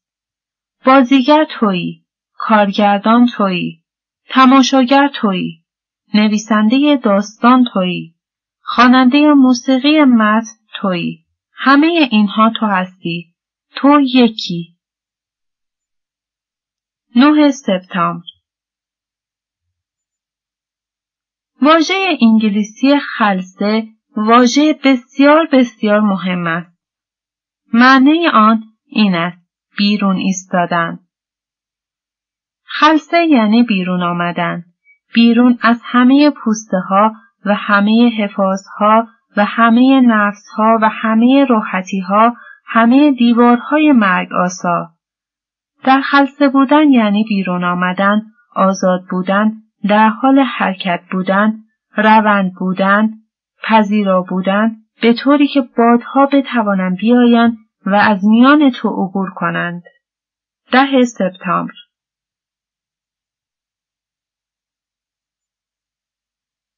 کمالگرایی سراسر نوعی سفر مرموز نفس است. اینکه خود را صرفا بر حسب آرمانها تصور کنی و کمال چیزی نیست جز آراستن نفس به منتها درجه. آدم افتاده قبول دارد که زندگی کامل نیست. یازدهم سپتامبر برای من موسیقی و مراقبه دو روی یک سکند و بدون موسیقی مراقبه چیزی کم دارد. بدون موسیقی مراقبه کمی یک نواخ و غیر زنده است. بدون مراقبه موسیقی فقط سر و صداست. موزون ولی سر و صدا. دوازدهم سپتامبر رویا فقط ترجمان فکر کردن است به زبان خواب و برعکس. اندیشیدن چیزی نیست جز ترجمان رویا دیدن به زبان روز. تو مدام بین این دو در حرکتی. رویا دیدن و فکر کردن و هر دو آرزو کردنند. سیزدهم سپتامبر انسان خودآگاه پاسخ دهنده است و پاسخهایش خودانگیختند. او آینوار است. هر چیزی را که بر او بتابد از خود باز میتابد. و از درون این خودانگیختگی، از درون این خداگاهی عملی از نوع جدید زاده می شود. آن عمل هرگز هیچ اسارتی، هیچ کارمایی نمی آفریند. آن عمل تو را رهایی می بخشد. چهاردهم سپتامبر دلم می‌خواهد دنیا آینها و مرامهای بسیار بیشتری دارا باشد. چنان بسیار که هر کس طریقت خود را داشته باشد. آن وقت به هیچ مرشدی احتیاج نخواهد بود. این تنها راه کنار گذاشتن آموزگاران اخلاق است. اگر تو طریقت خود را داشته باشی احتیاج به هیچ مرشدی نیست. مرشد تویی. بچه مرشد تویی. تو همه چیزی. پانزدهم سپتامبر آهسته بخور. با مراقبت و هوشیاری غذا بخور. هر لقمه را باید جوید. باید چشید. نسیم و انوار آفتاب را استشمام کن. لمس کن احساس کن. ماه را بنگر و به برکه خاموش از مراقبت و هوشیاری مبدل شو. و ماه با تمام زیبایی خیره کنندش در تو متجلی خواهد شد. در حالی که مدام هوشیار و گوش بزنگی با زندگی همگام شو. شانزدهم سپتامبر من مخالف آمیزش جنسی نیستم. چون کسانی که مخالف آمیزش جنسی هستند همیشه در شهوت رانی میمانند. من طرفدار آمیزش جنسیم. چون اگر عمیقا فراموش شود به زودی از آن بیرون میایی. هر قدر خداگاهانه در آن قدم بگذاری زودتر از آن بیرون خواهی آمد. و روزی که کاملا از آمیزش جنسی بیرون آمدی روز شبگذاری بزرگی است. هفدهم سپتامبر از فقر متنفرم. من احترامی برای فقر قائل نیستم. من برای فقر قدر و منزلتی نمی شناسم.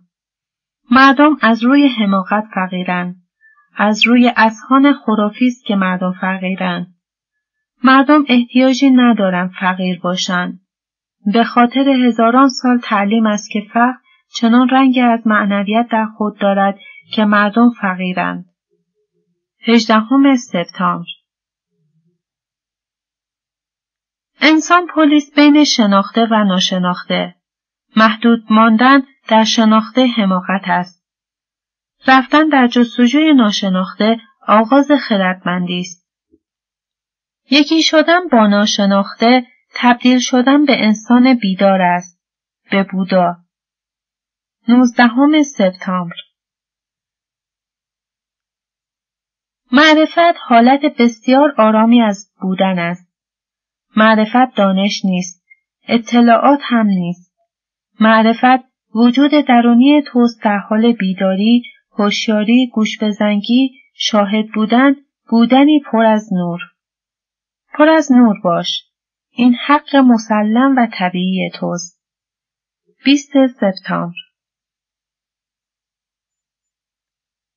دلم می‌خواهد انسانیت به هر طریق ممکن غنی باشد. غنی از نظر علم و فناوری، غنی از نظر شعر، موسیقی و مراقبه، غنی از نظر عرفان. زندگی را باید در چند جانبگی آن زندگی کرد. باید از طریق همه راه های ممکن به خدا نزدیک شد. چرا روحت را تحلیل ببری؟ 21 سپتامبر متدین واقعی باید در دنیا سهم داشته باشد. باید دنیا را نسبت به آنچه هنگام ورودش به این دنیا یافت کمی زیباتر سازد. باید دنیا را کمی مسرت بخشتر سازد. باید کمی بیشتر اطراگینش کند. باید کمی بیشتر همسازش کند. این قرار است سهم او باشد. 22 سپتامبر با افراد به عنوان وسیله رفتار نکن.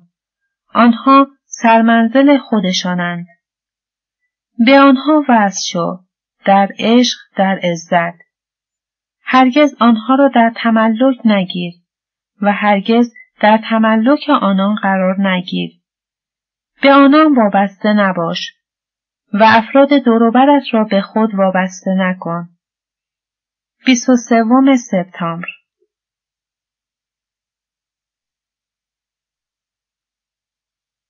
عشق به شکل رابطه نمود می‌یابد. در خلوت ژرف آغاز می شود. عشق به شکل برقراری رابطه ابراز می گردد. اما منبع عشق در برقراری رابطه نیست. منبع عشق در مراقبه است.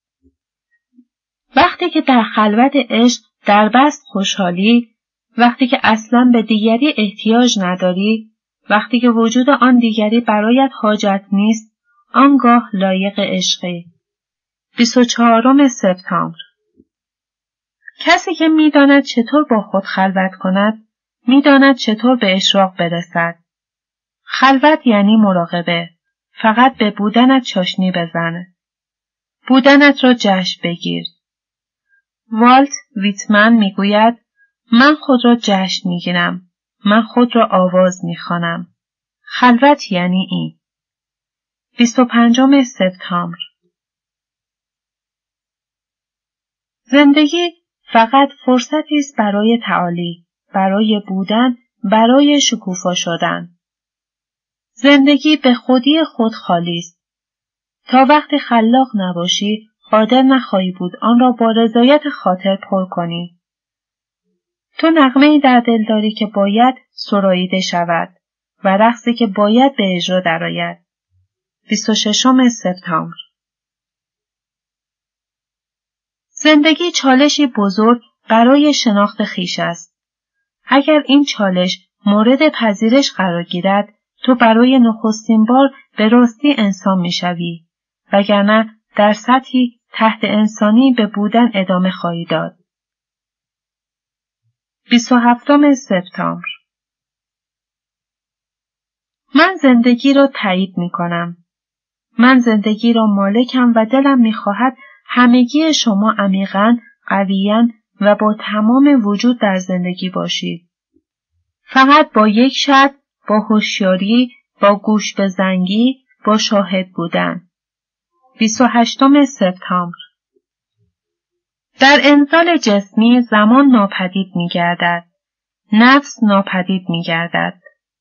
زن ناپدید می گردد. در انزال جسمی برای لحظه تمام دنیا متوقف می شود. همین اتفاق در مقیاسی بسیار وسیعتر در انزال روحی دست می دهد. انزال جسمی گذراست و انزال روحی ابدی. اما انزال جسمی گوش چشم از انزال روحی را به تو می نمایاند. 29 سپتامبر خدا به هیچ وجه یک بت نیست. تو نمی توانی خدا را مثل یک بت پرستش کنی. تو می توانی به طریقه خدایگونه زندگی کنی. ولی نمی توانی خدا را بت کنی. خدا شخص نیست که او را پرستش کنی. این پرستش تو سراسر حماقت محض است. همه صور ذهنی تو از خدا آفریده خود توست. چنین خدایی وجود ندارد. اما الوهیت است. یقینا هست. در گلها، در پرندگان در ستاره ها در چشمان آدم ها وقتی ترانه در دل به تصنیف در میآید و شعر تو را احاطه می کند این همه خداست. سی سپتامبر اکتبر سانیاسین یعنی کسی که سعی ندارد معمای زندگی را حل کند بلکه عمیقا در خود این معما شیرجه می رود. زندگی کردن این معما سانیاس است. اگر شروع کردی آن را حل کنی جدی می شوی. اگر شروع کردی آن را زندگی کنی بازی گوشتر و بازی گوشتر می شوی. یک اکتبر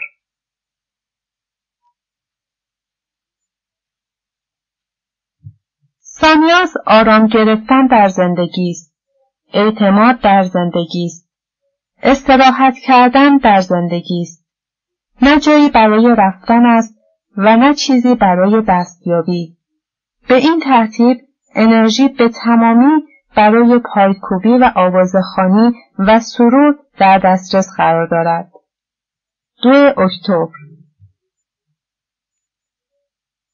مردم فقط برای این زندگی می کنند که دیگران را تحت تاثیر قرار دهند. واقعا که باید خیلی در درون پست و بینوا باشند. چون فقط کسانی که از عقده حقارت رنج می‌برند می‌خواهند تحسین دیگران را برانگیزند. کسی که واقعا والاتر است هرگز خود را با هیچ احدی مقایسه نمی کند. او می‌داند که قیاس ناپذیر است نه تنها این بلکه می‌داند که دیگران هم به اندازه او قیاس ناپذیرند. او نه والاتر است و نه حقیرتر. سه اکتبر مذهب واقعی همه پاسخها را کنار می‌زند. پرسشهای تو را بزرگتر و بزرگتر می کند و سرانجام پرسشهایت را به شگفتی به یک پژوهش مبدل می سازد. و چنانچه بتوانی در شگفتی زندگی کنی به آن بینش به آن دیدگانی که قادر به دیدنند دست خواهی یافت. چهار اکتبر هوش به شهامت فوق‌العاده‌ای نیاز دارد. هوش به زندگی ماجراجویانه نیازمند است. هوش احتیاج دارد که تو همیشه به ناشناخته ها قدم بگذاری. به دریای نامکشوف آنگاه هوش بال و پر می‌گیرد و سیقل مییابد هوش فقط زمانی رشد مییابد که هر لحظه با ناشناخته مواجه گردد پنج اکتبر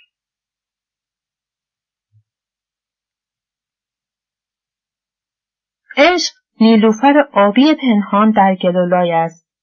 نیلوفر آبی از لجن زاده می شود. ولی تو آن را به این خاطر که از لجن زاده شده نکوهش نمی کنی. تو نیلوفر آبی را گلالود نمی خانی. تو نیلوفر آبی را کثیف قلمداد نمی کنی. عشق از آمیزش جنسی زاییده می شود.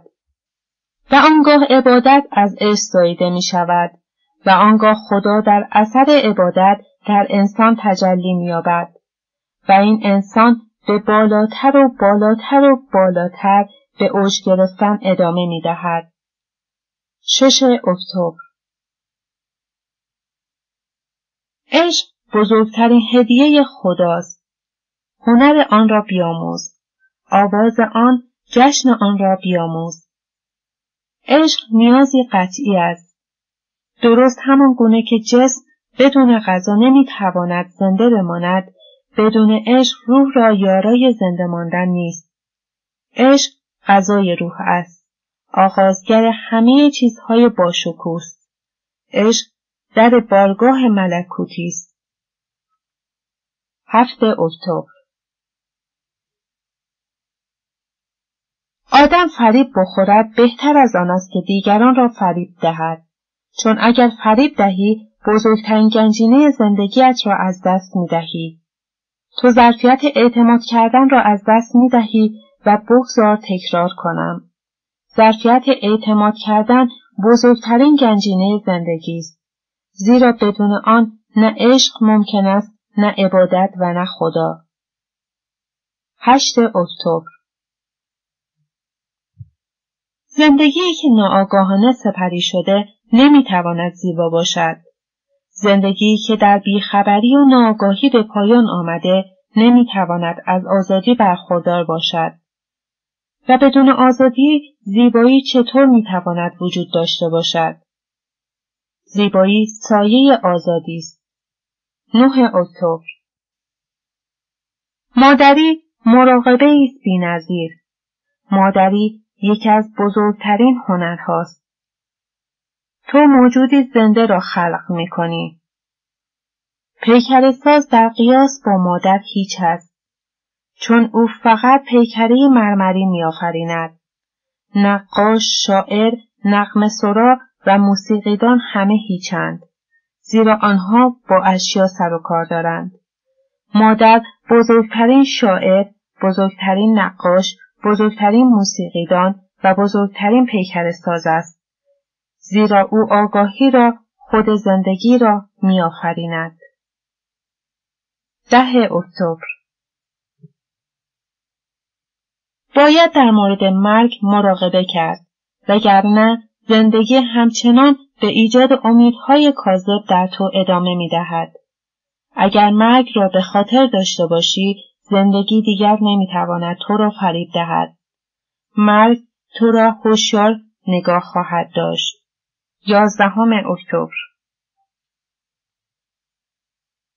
کسی که به خودش عشق میورزد از عشق بسیار لذت می‌برد چنان سرشار از لذت که کم کم عشق لبریز می گردد و دست یازیدن به دیگران را آغاز می کند. باید همچنین باشد. اگر عشق را زندگی کنی، باید آن را با دیگران قسمت کنی. دوازدهم اکتبر نخستین بصیرت را نسبت به ابدیت عشق به تو میبخشد. عشق تنها تجربه است که از زمان فراتر می رود. به همین دلیل اشاق از مرگ نمی حراسند. عشق مرگی نمی شناسد. لحظه عشق بیشتر از کل ابدیت است. اما عشق را باید از همان ابتدا آغاز کرد. عشق را باید با این گام نخست آغاز کرد. به خود عشق بورز. سیزدهم اکتبر زندگی آینه است که چهره تو را منعکس می‌سازد مهربان باش و آنگاه زندگی سر و سر مهربانی را از خود باز میتابد مردم خیلی خوب می‌دانند که اگر نسبت به یک سگ مهربان باشی حتی سگ هم با تو مهربان می شود. بسیار مهربان.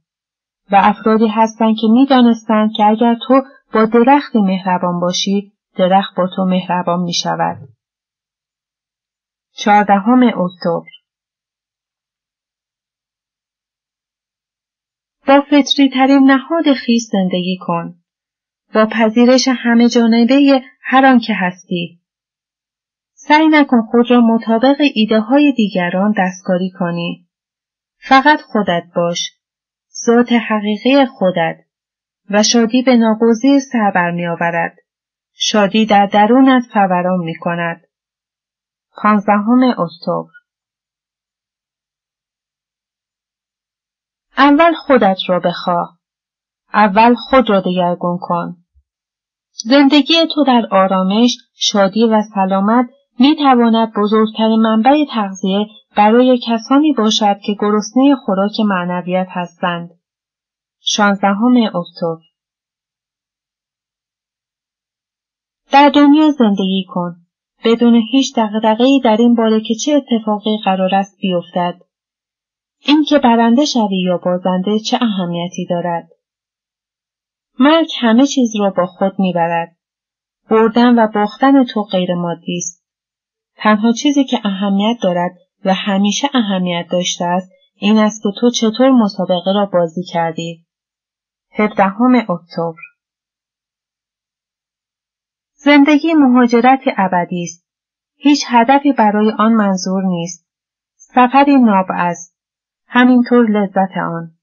زندگی از نقطه های پایانی جمله چیزی نمی‌داند. زندگی تداوم است. آوازی که هرگز به آخر نمی رسد. داستانی که همچنان ادامه دارد. اگر تو در دسترس باشی هر لحظه چیزی نو آماده روی دادن است. هجدهم اکتبر وقت تلف نکن. زمان به راستی گرانبهاست. بسیار گرانبهاتر از پول. بسیار گرانبهاتر از هر چیزی در دنیا. زیرا از طریق زمان است که می توانی به ابدیت بپیوندی. نوزدهم اکتبر کل حقیقت این است. جسم واقعیت خود را دارد و خداگاهی واقعیت خود را. و معجزه این است. راز این است که این دو واقعیت مجزا با هم هستند. که این دو واقعیت مجزا با همزمانی کامل عمل می کنند. راز این است. ماده همکوک با خداگاهی در رقص است. خداگاهی همساز با ماده در رقص است. من این راز را حقیقت می نامم. کل حقیقت. 20 اکتبر مرگ بسیار قدرتمند است. اما یک چیز را نمی‌تواند از دو بگیرد و آن مراقبه است. اگر بتوانی در وجودت پا بگیری و با همه وجود هوشیار خداگاه و سراپا گوش باشی در خواهی یافت که تو جسم نیستی تو ذهن نیستی و تو قلب نیستی. تو فقط روح شاهدی و آن شهادت با تو رخت در خواهد بست. آنگاه تو می توانی حتی مرگ را گواه باشی. 21 اکتبر. همچنان که آگاهی تو ژرفتر می شود، نور تو درخشیدن می گیرد. تو از ماده به اسم نور ساخته شده ای. کل هستی ساخته از نور است. آگاهی افروختن آتش درون توست و وقتی شلور شدی آرزوها در آن آتش می سوزند. ناخالصی ها در آن آتش می سوزند. و تو به شکل طلای ناب از آن بیرون خواهی آمد. 22 اکتبر تمام اصول اخلاقی اخلاقی نیستند و چیزی که در یک کشور اخلاقی به حساب می آید در کشور دیگر اخلاقی نیست. چیزی که در یک مذهب اخلاقی است در مذهب دیگر اخلاقی نیست. چیزی که امروز اخلاقی است دیروز اخلاقی نبود. اصول اخلاقی در تغییرند. اصول اخلاقی اختیاریند. اما آگاهی جاودانی است. هرگز تغییری نمی کند. کاملا مطلق است. حقیقت است. 23 اکتبر نفس همواره تهاجمی است. فقط با تهاجم می‌تواند به بقای خود ادامه دهد. نفس چنان حیاهویی به راه میاندازد چنان گرد و خاکی به پا می کند که نمی‌توانی چیزی را ببینی. نفس تو را کور می کند. تو را دور خودت میچرخاند و سرت را گیج میآورد. به همین خاطر است که نفس همیشه آرزومند قدرت بیشتر و بیشتر است. می‌خواهد همه کارها را با قدرت مطلق انجام دهد. 24 اکتبر ازدواج گل پلاستیکی است و عشق گل سرخ واقعی اما گل سرخ واقعی در صبحدم زیباست در شامگاه از بین رفته.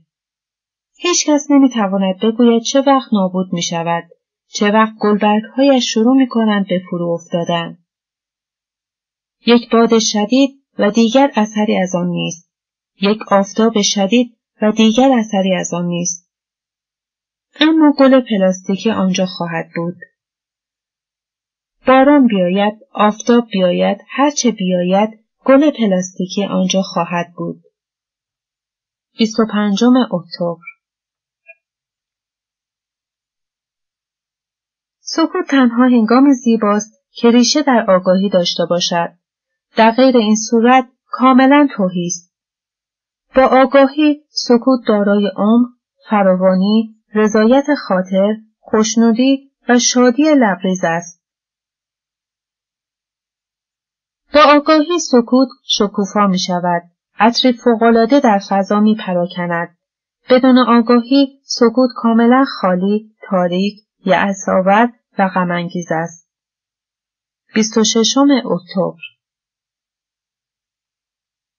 خورشید طلوع می کند. در این طلوع هیچ اشتیاقی به بیدار کردن مردم نیست. هیچ اشتیاقی به باز کردن گلها نیست. هیچ اشتیاقی به کمک به آواز خانی پرندگان نیست. اینها همه به میل و رضای خود روی می دهند. یک انسان بیدار، یک بودا به این خاطر که شوق کمک کردن دارد از دیگران دستگیری نمی کند. دلسوزی طبیعت اوست. 27 اکتبر علم مذکر است دین معنس علم تلاشی برای تسخیر طبیعت است دین رهاسازی است حل کردن خود در طبیعت. زن می‌داند چطور مذاب گردد چطور با طبیعت یکی شود چطور با جریان به حرکت درآید. بدون مقاومت بدون مبارزه. 28 اکتبر پیام من نه واجه هایی که به کار می‌گیرم بلکه سکوتی است که آن واژه ها از آنجا نشد می‌گیرند. پیام من نه کلامی است و نه فلسفی. یک پیوند است پیوند عمیق دلها یک دیدار یک آمیزش یک تجربه مست کننده پیام من انزال معنوی است 29 اکتبر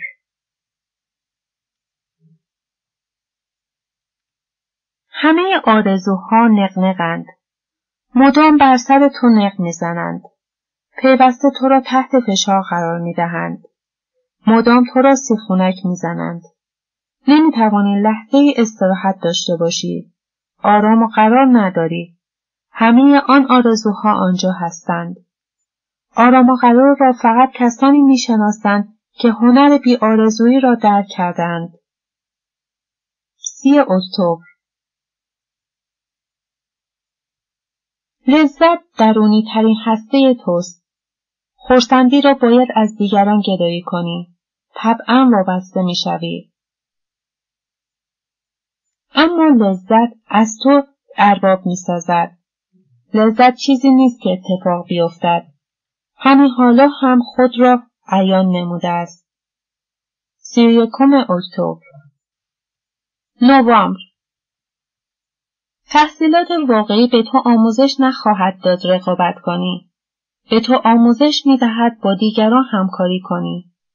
به تو آموزش نخواهد داد مبارزه کنی و نفر اول باشی. به تو آموزش خواهد داد بی هیچ مقایسه با دیگران خلاق باشی. با محبت و لذت بخش باشی. یک نوامبر لورد اکتون می‌گوید قدرت به فساد میگراید این حقیقت ندارد قدرت هرگز به فساد کشیده نمی شود. ولی افراد فاسد شده به سوی قدرت کشیده می شوند. البته بدون قدرت قادر نیستند چهره واقعی خود را به نمایش بگذارند. قدرت زمینه مناسب به دستشان می دهد که بتوانند واقعیت قلب خود را آشکار سازند. قدرت فساد نمی آورد. فقط حقیقت را نمایان می سازد. دو نوامبر عشق خلوص می بخشد.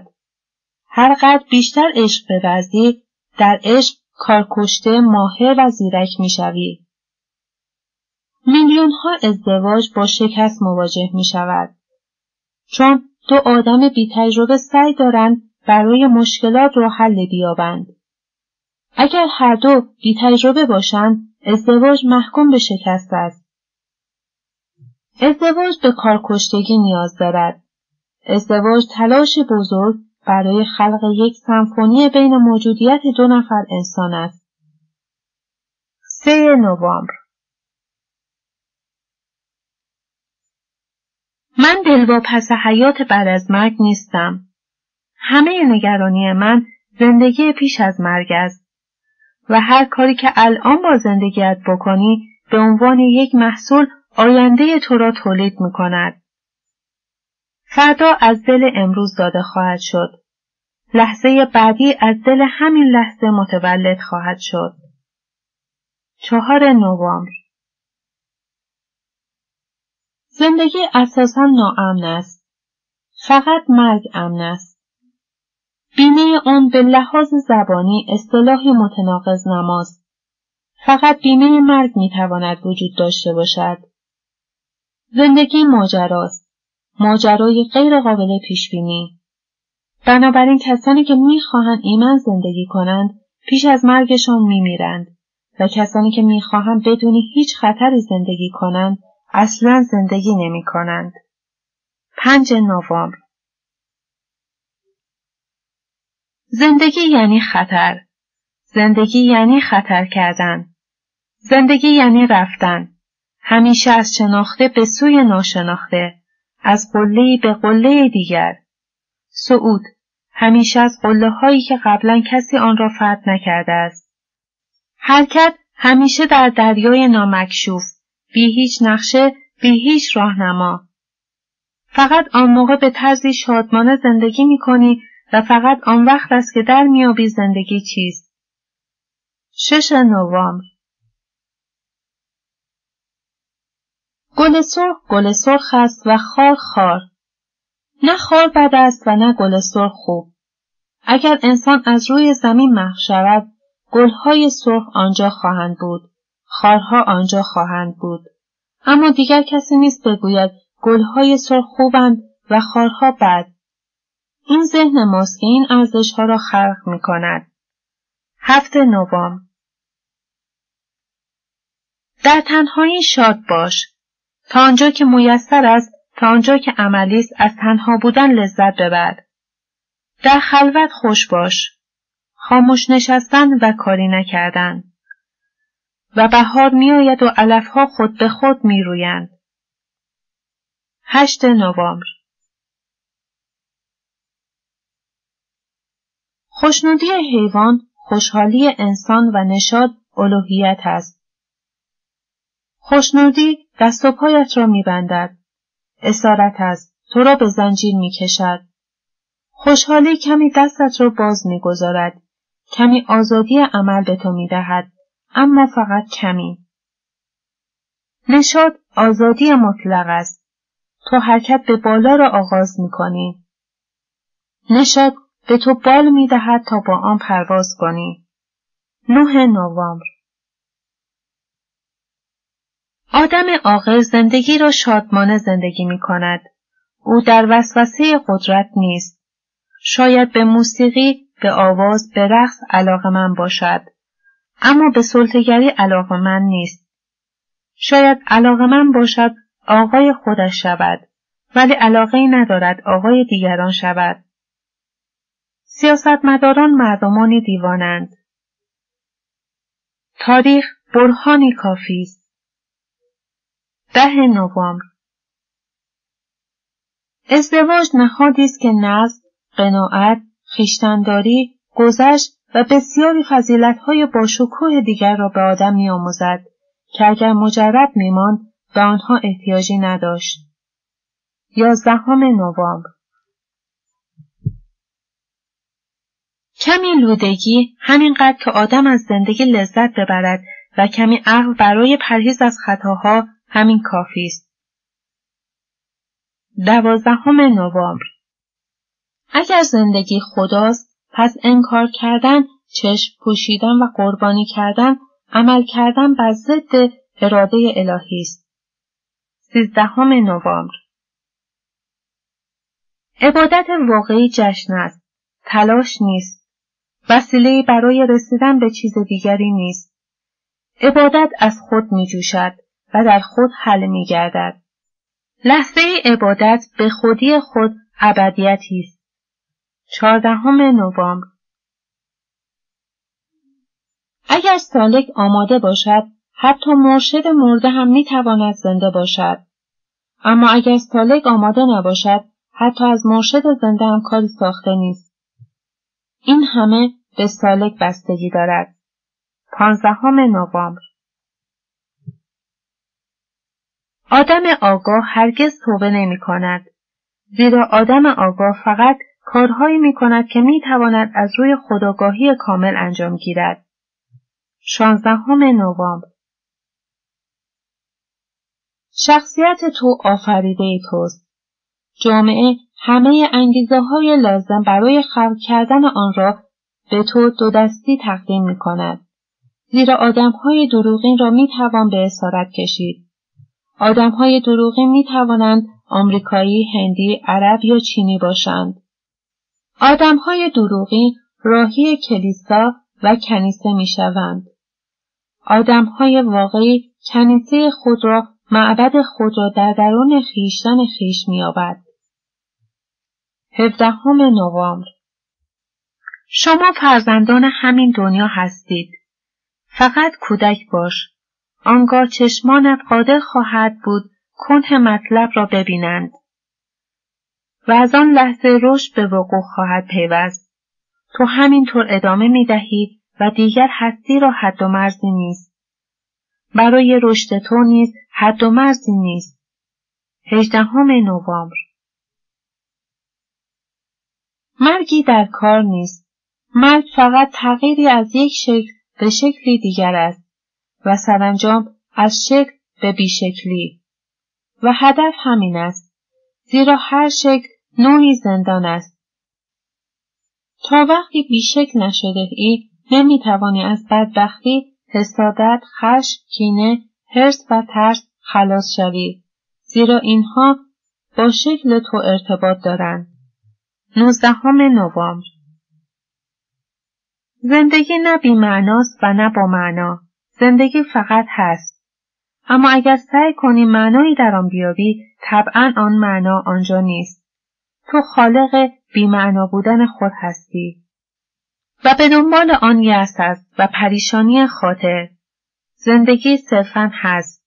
از آن لذت ببر. 20 نوامبر آزادی مسئولیت میآورد.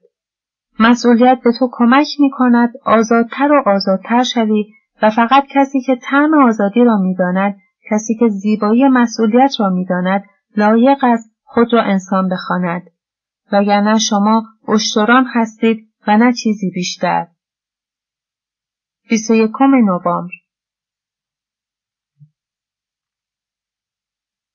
من سرآغاز آگاهی مذهبی کاملا نوینی هستم. لطفا مرا با گذشته پیوند نزنید. گذشته حتی ارزش به خاطر سپاری ندارد. چه نعمت بزرگی برای بشریت خواهد بود اگر سراسر تاریخ گذشته را به کناری نهیم همه گذشته را به گنجینه هزارها بسپاریم و به انسان آغاز جدید ببخشیم. آغاز غیر تحمیلی و دوباره او را آدم و هوا کنیم تا بتواند از صفر شروع کند. انسانی نو، تمدنی نو، فرهنگی نو. 22 نوامبر انسان باید آزادی خود را اعلام کند. این نه درخواست از یک ملت برای آزاد بودن است بلکه درخواستی است از یکایک افراد روی زمین برای خلاصی از کل زبان نامفهوم و در همتنیدهای که گذشته در درونت به ماندگار گذاشته است. 23 نوامبر مرگ زندگی را زیبا می کند. زیرا تو را هوشیار می سازد. قطار را از دست نده. هیچ چیز را از دست نده. لذت ببر. از هرچه برایت میسر است حز ببر. زیرا فردا مرگ است. مرگ دشمن تو نیست. مرگ بزرگترین دوست توست. بدون مرگ شماها فقط اجسادی مرده اید که بی هیچ هدف، بی هیچ معنا و بی هیچ گریزگاهی اینجا و آنجا در حرکتید. 24 نوامبر من همه دورنمای انسان نوین را در اختیار دارم. نه مرزی، نه ملتی، نه حکومتی. فقط یک حکومت کاری و فعال و یک آکادمی جهانی قدرتمند از دانشمندان. و علم باید عامل تعیین کننده باشد. تا کنون علم برای بشر نعمت بوده است. علم می تواند نعمت بزرگی باشد. به شرطی که فقط یک دنیای واحد باشد. 25 نوامبر. این فقط نقاشان و رقاصان و خوانندگان نیستند که از امتیاز لذت بردن از زندگی برخوردارند. این حق مسلم هر فرد است. هیچ رفتی به استعدادهای ویژه ندارد. آشپزی می تواند مایه لذت باشد. تمیز کردن خانه می تواند مایه شعف باشد. 26 نوامبر. آتش را به سراسر جهان بگستران که کل زمین متعلق به ماست. مردم زمین باید مسئولیت را از دستان سیاستمداران جهانخوار بازگیرند و این گام نخست است. محو کردن تمامی مرزها و ببین چند نفر را می توانند زندانی کنند. تو ای جهانخوار نمی توانی کل یک ملت را به زندان بیاندازی. 27 نوامبر زندگی تغییری دائمی است و فرد آگاه به حرکت و تغییر همگام با زندگی و هستی ادامه می دهد. او مثل رودخانه در حرکت است. نه مثل گندابی آلوده که فقط به گلالود شدن بیشتر و بیشتر ادامه می دهد. او به هیچ کجا نمی رود، هرگز عوض نمی شود. رودخانه به جریان، به تغییر و به انتخاب مسیرهای جدید ادامه می دهد. 28 نوامبر هوش ظرفیت خاموش بودن و بیدار بودن و توانایی دیدن حقیقت است. 29 نوامبر دین بالاترین لذت در دنیاست. آدم احمق مادام که احمق بماند نمی‌تواند آن را تشخیص دهد. آدم سطحی مادام که سطحی بماند نمی‌تواند حتی امکان چنین چیزی را تصور کند. فقط بالاترین هوش می‌تواند به نقطه‌ای که دین در آنجا به شکوفایی می‌رسد دست یابد. سی نوامبر دسامبر آنچه انسان بر سر انسان آورده غیر قابل تصور است. فقط آدولف هیتلر به تنهایی مسئول کشتار حداقل ده میلیون نفر آدم است. استالین هم چندان دست کمی از او ندارد. در قرن بیستم هم می‌خواهی اجازه بدهی همه اینها ادامه پیدا کند؟ ما قرار نیست برای غلبه بر دنیا و تغییر آن جنگ افزار هسته اختراع کنیم. نه، ما همین حالا هم بزرگترین اسلحه را در دست داریم. مراقبه یک دسامبر باید دنیای از آدمهای به واقع حساس بیافرینیم که بتوانند موسیقی، شعر و نقاشی را درک کنند، بتوانند طبیعت را بفهمند، بتوانند زیبایی انسان، طبیعت و دنیایی که آنها را احاطه کرده است درک کنند. ستارگان را، ماه را، خورشید را. فقط پرندهای در پرواز می‌تواند تو را به شعفی سرشار آکنده سازد. شاید که آزادی و چهچهه پرنده کوچک تو را به آواز درآورد. انسانیت قلب و احساس خود را از دست داده و ما باید آن را به هر کس که خواستار آن است بازگردانیم. دو دسامبر هرچه داری انجام می دهی یا نمی دهی غیر مادی است. فقط سرشار از محبت باش. خوشیار باش آن را با شادی و نشاط انجام بده. هر کاری می‌کنی آن را طوری انجام بده گویی در این بره از زمان این عالی ترین کار در دنیاست. سه دسامبر هندی بودن هیچ ربطی به جغرافی ندارد بلکه به روی کردی معنوی نسبت به واقعیت مربوط است. هند نوین راه و رسمهای بودا را به فراموشی سپرده و از یاد برده چطور با بوده ها زندگی کند. سعی من بر این است که آن گنجینه را دوباره به تو بنمایانم. نگذار آن گنجینه در اعماق دلت مدفون گردد. چهار دسامبر من هند را نه یک کشور که یک فضای درونی می‌خوانم. من هند را چیزی که در جغرافی وجود دارد بر روی نقشه ها نمی‌خوانم. من هند را آن چیزی می‌خوانم که در درونت پنهان است و چیزی که هنوز آن را کشف نکرده ای. هند درونی ترین فضای توست. هند یک ملت نیست. حالتی از ذهن است. 5 دسامبر تانترا فیلسوف بزرگ شرقی آمیزش را مقدس و مهمترین انرژی حیات می‌خواند. کل دگرگونی قرار است از طریق این انرژی اتفاق بیفتد. آن را نکوهش نکن. شش دسامبر طریقت برقراری اتحادی دگرباره با خواستگاه خود توست. طریقت به یاد آوردن است. دوباره بدل شدن به وحدتی سازمند که تویی. طریقت تو به دیگران ربطی ندارد. به تو ربط دارد. کاملا به تو. طریقت تو شخصی است. نه پدیده ای اجتماعی. هفت دسامبر انسان بذر بدبختی یا سعادت را جهنم یا بهش را در درون خود یدک می کشد. هرچه بر سرت می آید دلیل آن اتفاق تویی. هشت دسامبر مراقبه تسلیم است نه تقاضا. مراقبه تحمیل کردن مسیر خود به هستی نیست. بلکه آرام گرفتن در مسیری است که هستی می‌خواهد در آن باشی. مراقبه با دنده خلاص رفتن است. 9 دسامبر کیش من کیش قسمت کردن با دیگران است. نه دنبال روی. این مذهب عشق است.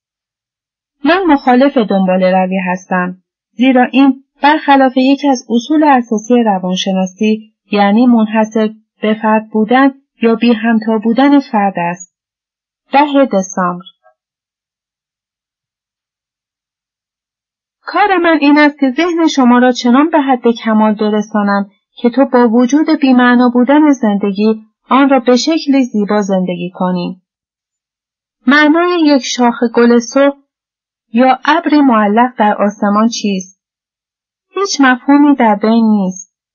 ولی زیبایی فوقالعاده عظیمی وجود دارد. هیچ مفهومی در بین نیست.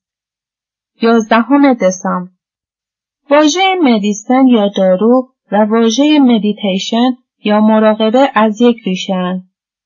دارو جسم را التیام میبخشد مراقبه وجودت را شفا می‌دهد این داروی معنوی است دوازدهم دسامبر اطاعت ترفند سلطگران و سیاستمداران است که تو را استثمار کنند تا تو را در اسارت نگه دارند در اسارت ذهنی. همه ادیان غیر الهی اطاعت کورکورانه را می ستایند در حالی که متدین یعنی اسیانگر. سیزدهم دسامبر.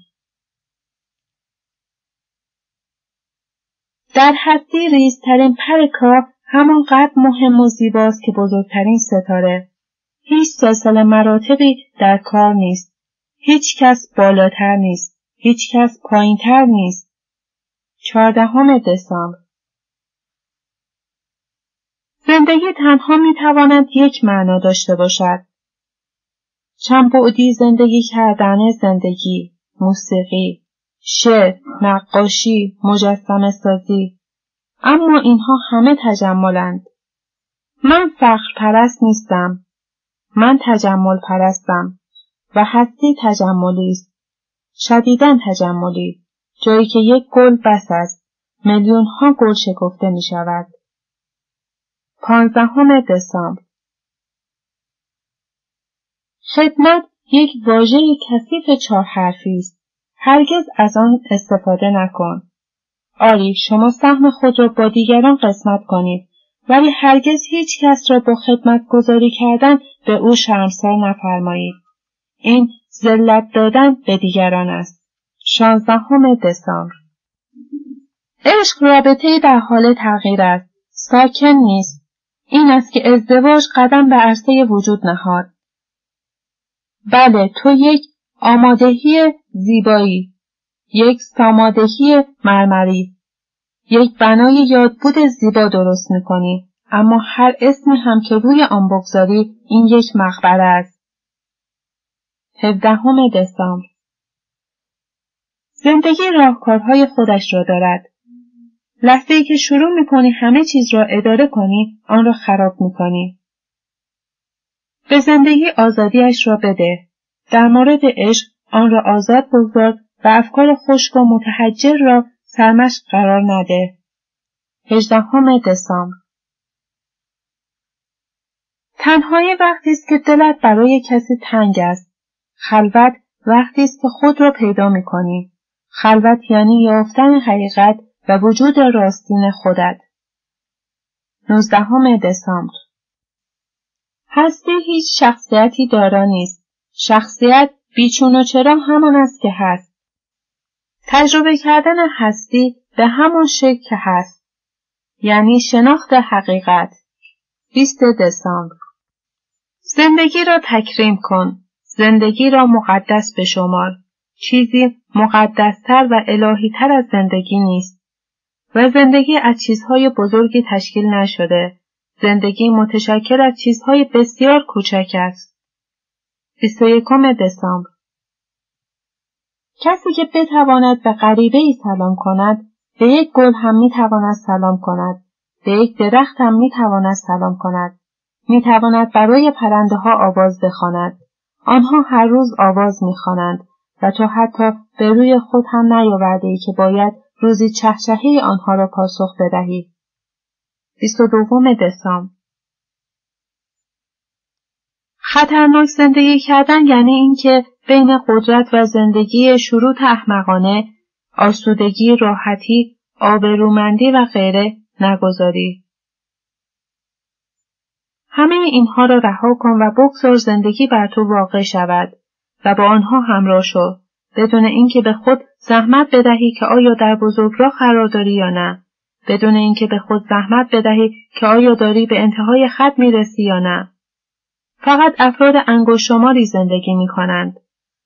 99 دهم درصد از مردم فقط به تدریج راه خودکشی را در پیش می گیرند.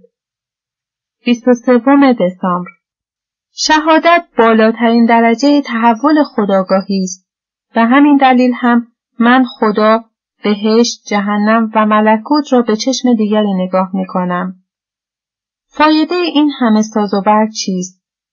به این اصل اساسی بچسب و آن این است. یک شاهد باش. 24 دسامبر اطلاعات دگرگونی نیست. تو می توانی از راه اطلاعات آدم بسیار مطلعی شوی. اما جهل تو همچنان به قوت خود باقی است. بزرگترین دانایان جاهلند. درست مثل هر آدم جاهل دیگری که هیچ چیز نمی‌داند. 25 دسامبر کمون یک مذهب، یک دنبال روی جمعی در یک ابر بزرگراه نیست. کمون به افرادی تعلق دارد که دست به دست هم دادند چون می‌خواهند به سفری درونی رهسپار گردند. به جایی که در خلوت خیش خواهند بود. 26 دسامبر هر عمل زندگیت را قدسی کن. هر عمل زندگیت را برگزین.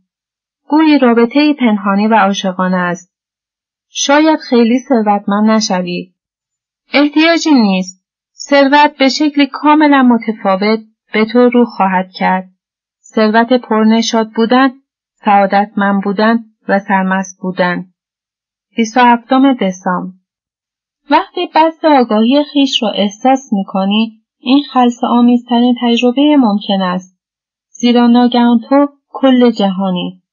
ستارگان درون تو هستند. خورشید درون تو طلوع و غروب می کند. زمین درون تو به حرکت در می آید. گلها درون تو شکفته می شوند. 28 دسامبر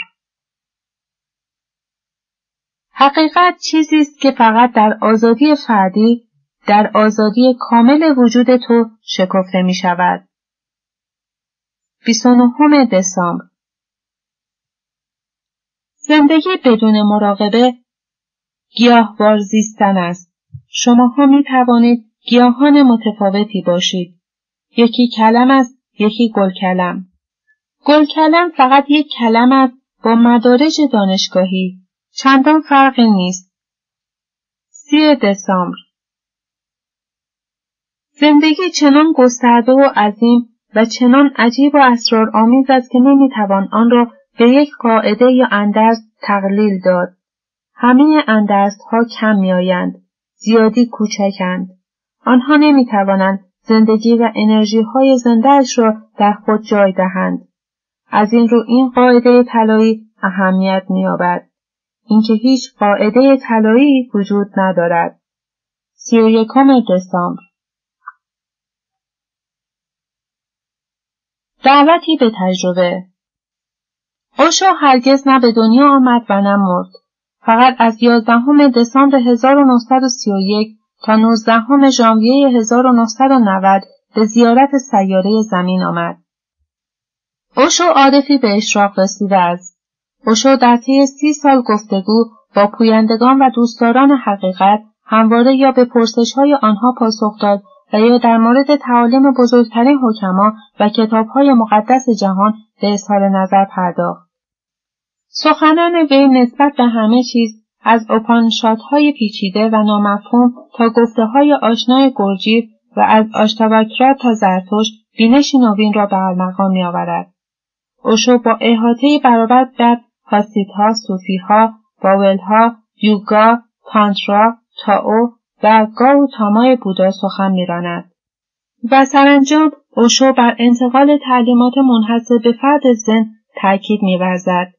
زیرا به گفته خیش زن یگان سنت معنوی است که رویکرد آن نسبت به زندگی درونی انسانها آزمون زمان را در نوردیده و هنوز هم برای انسان معاصر مطرح است. زن واژه دیگری برای دیانا یک واژه اصیل هندی است. در زبان انگلیسی می توانید آن را مدیتیشن یا مراقبه ترجمه کنید. اما اوشو می‌گوید این ترجمه ضعیفی است. بنابراین آن را دیانا یا زن یا هر چه دوست دارید بنامید. ترکیب اوشو بر تجربه کردن است.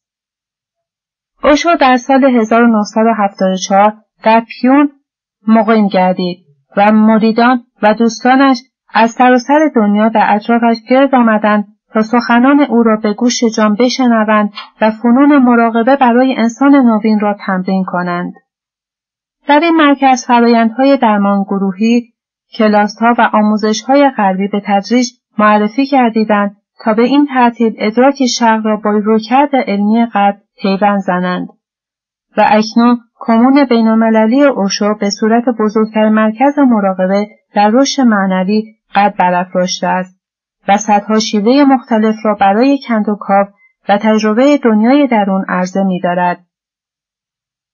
هر سال هزاران پوینده از سراسر جهان برای برپایی جشن و تمرین مراقبه در حوزه بیداری اوشو به دور هم جمع می شوند. محوطه کمون را باغهای پر از گیاهان شاداب و سربلند استخرها آبشارها قوهای سفید خوشخرام تابوسهای رنگارنگ و نیز ساختمانها و اهرام زیبا تشکیل می‌دهد چنین جو آرامش بخش و موزونی تجربه خاموشی درون را به شیوه بسیار لذت بخش سهولت میبخشد. پایان کتاب الماس های اوشو.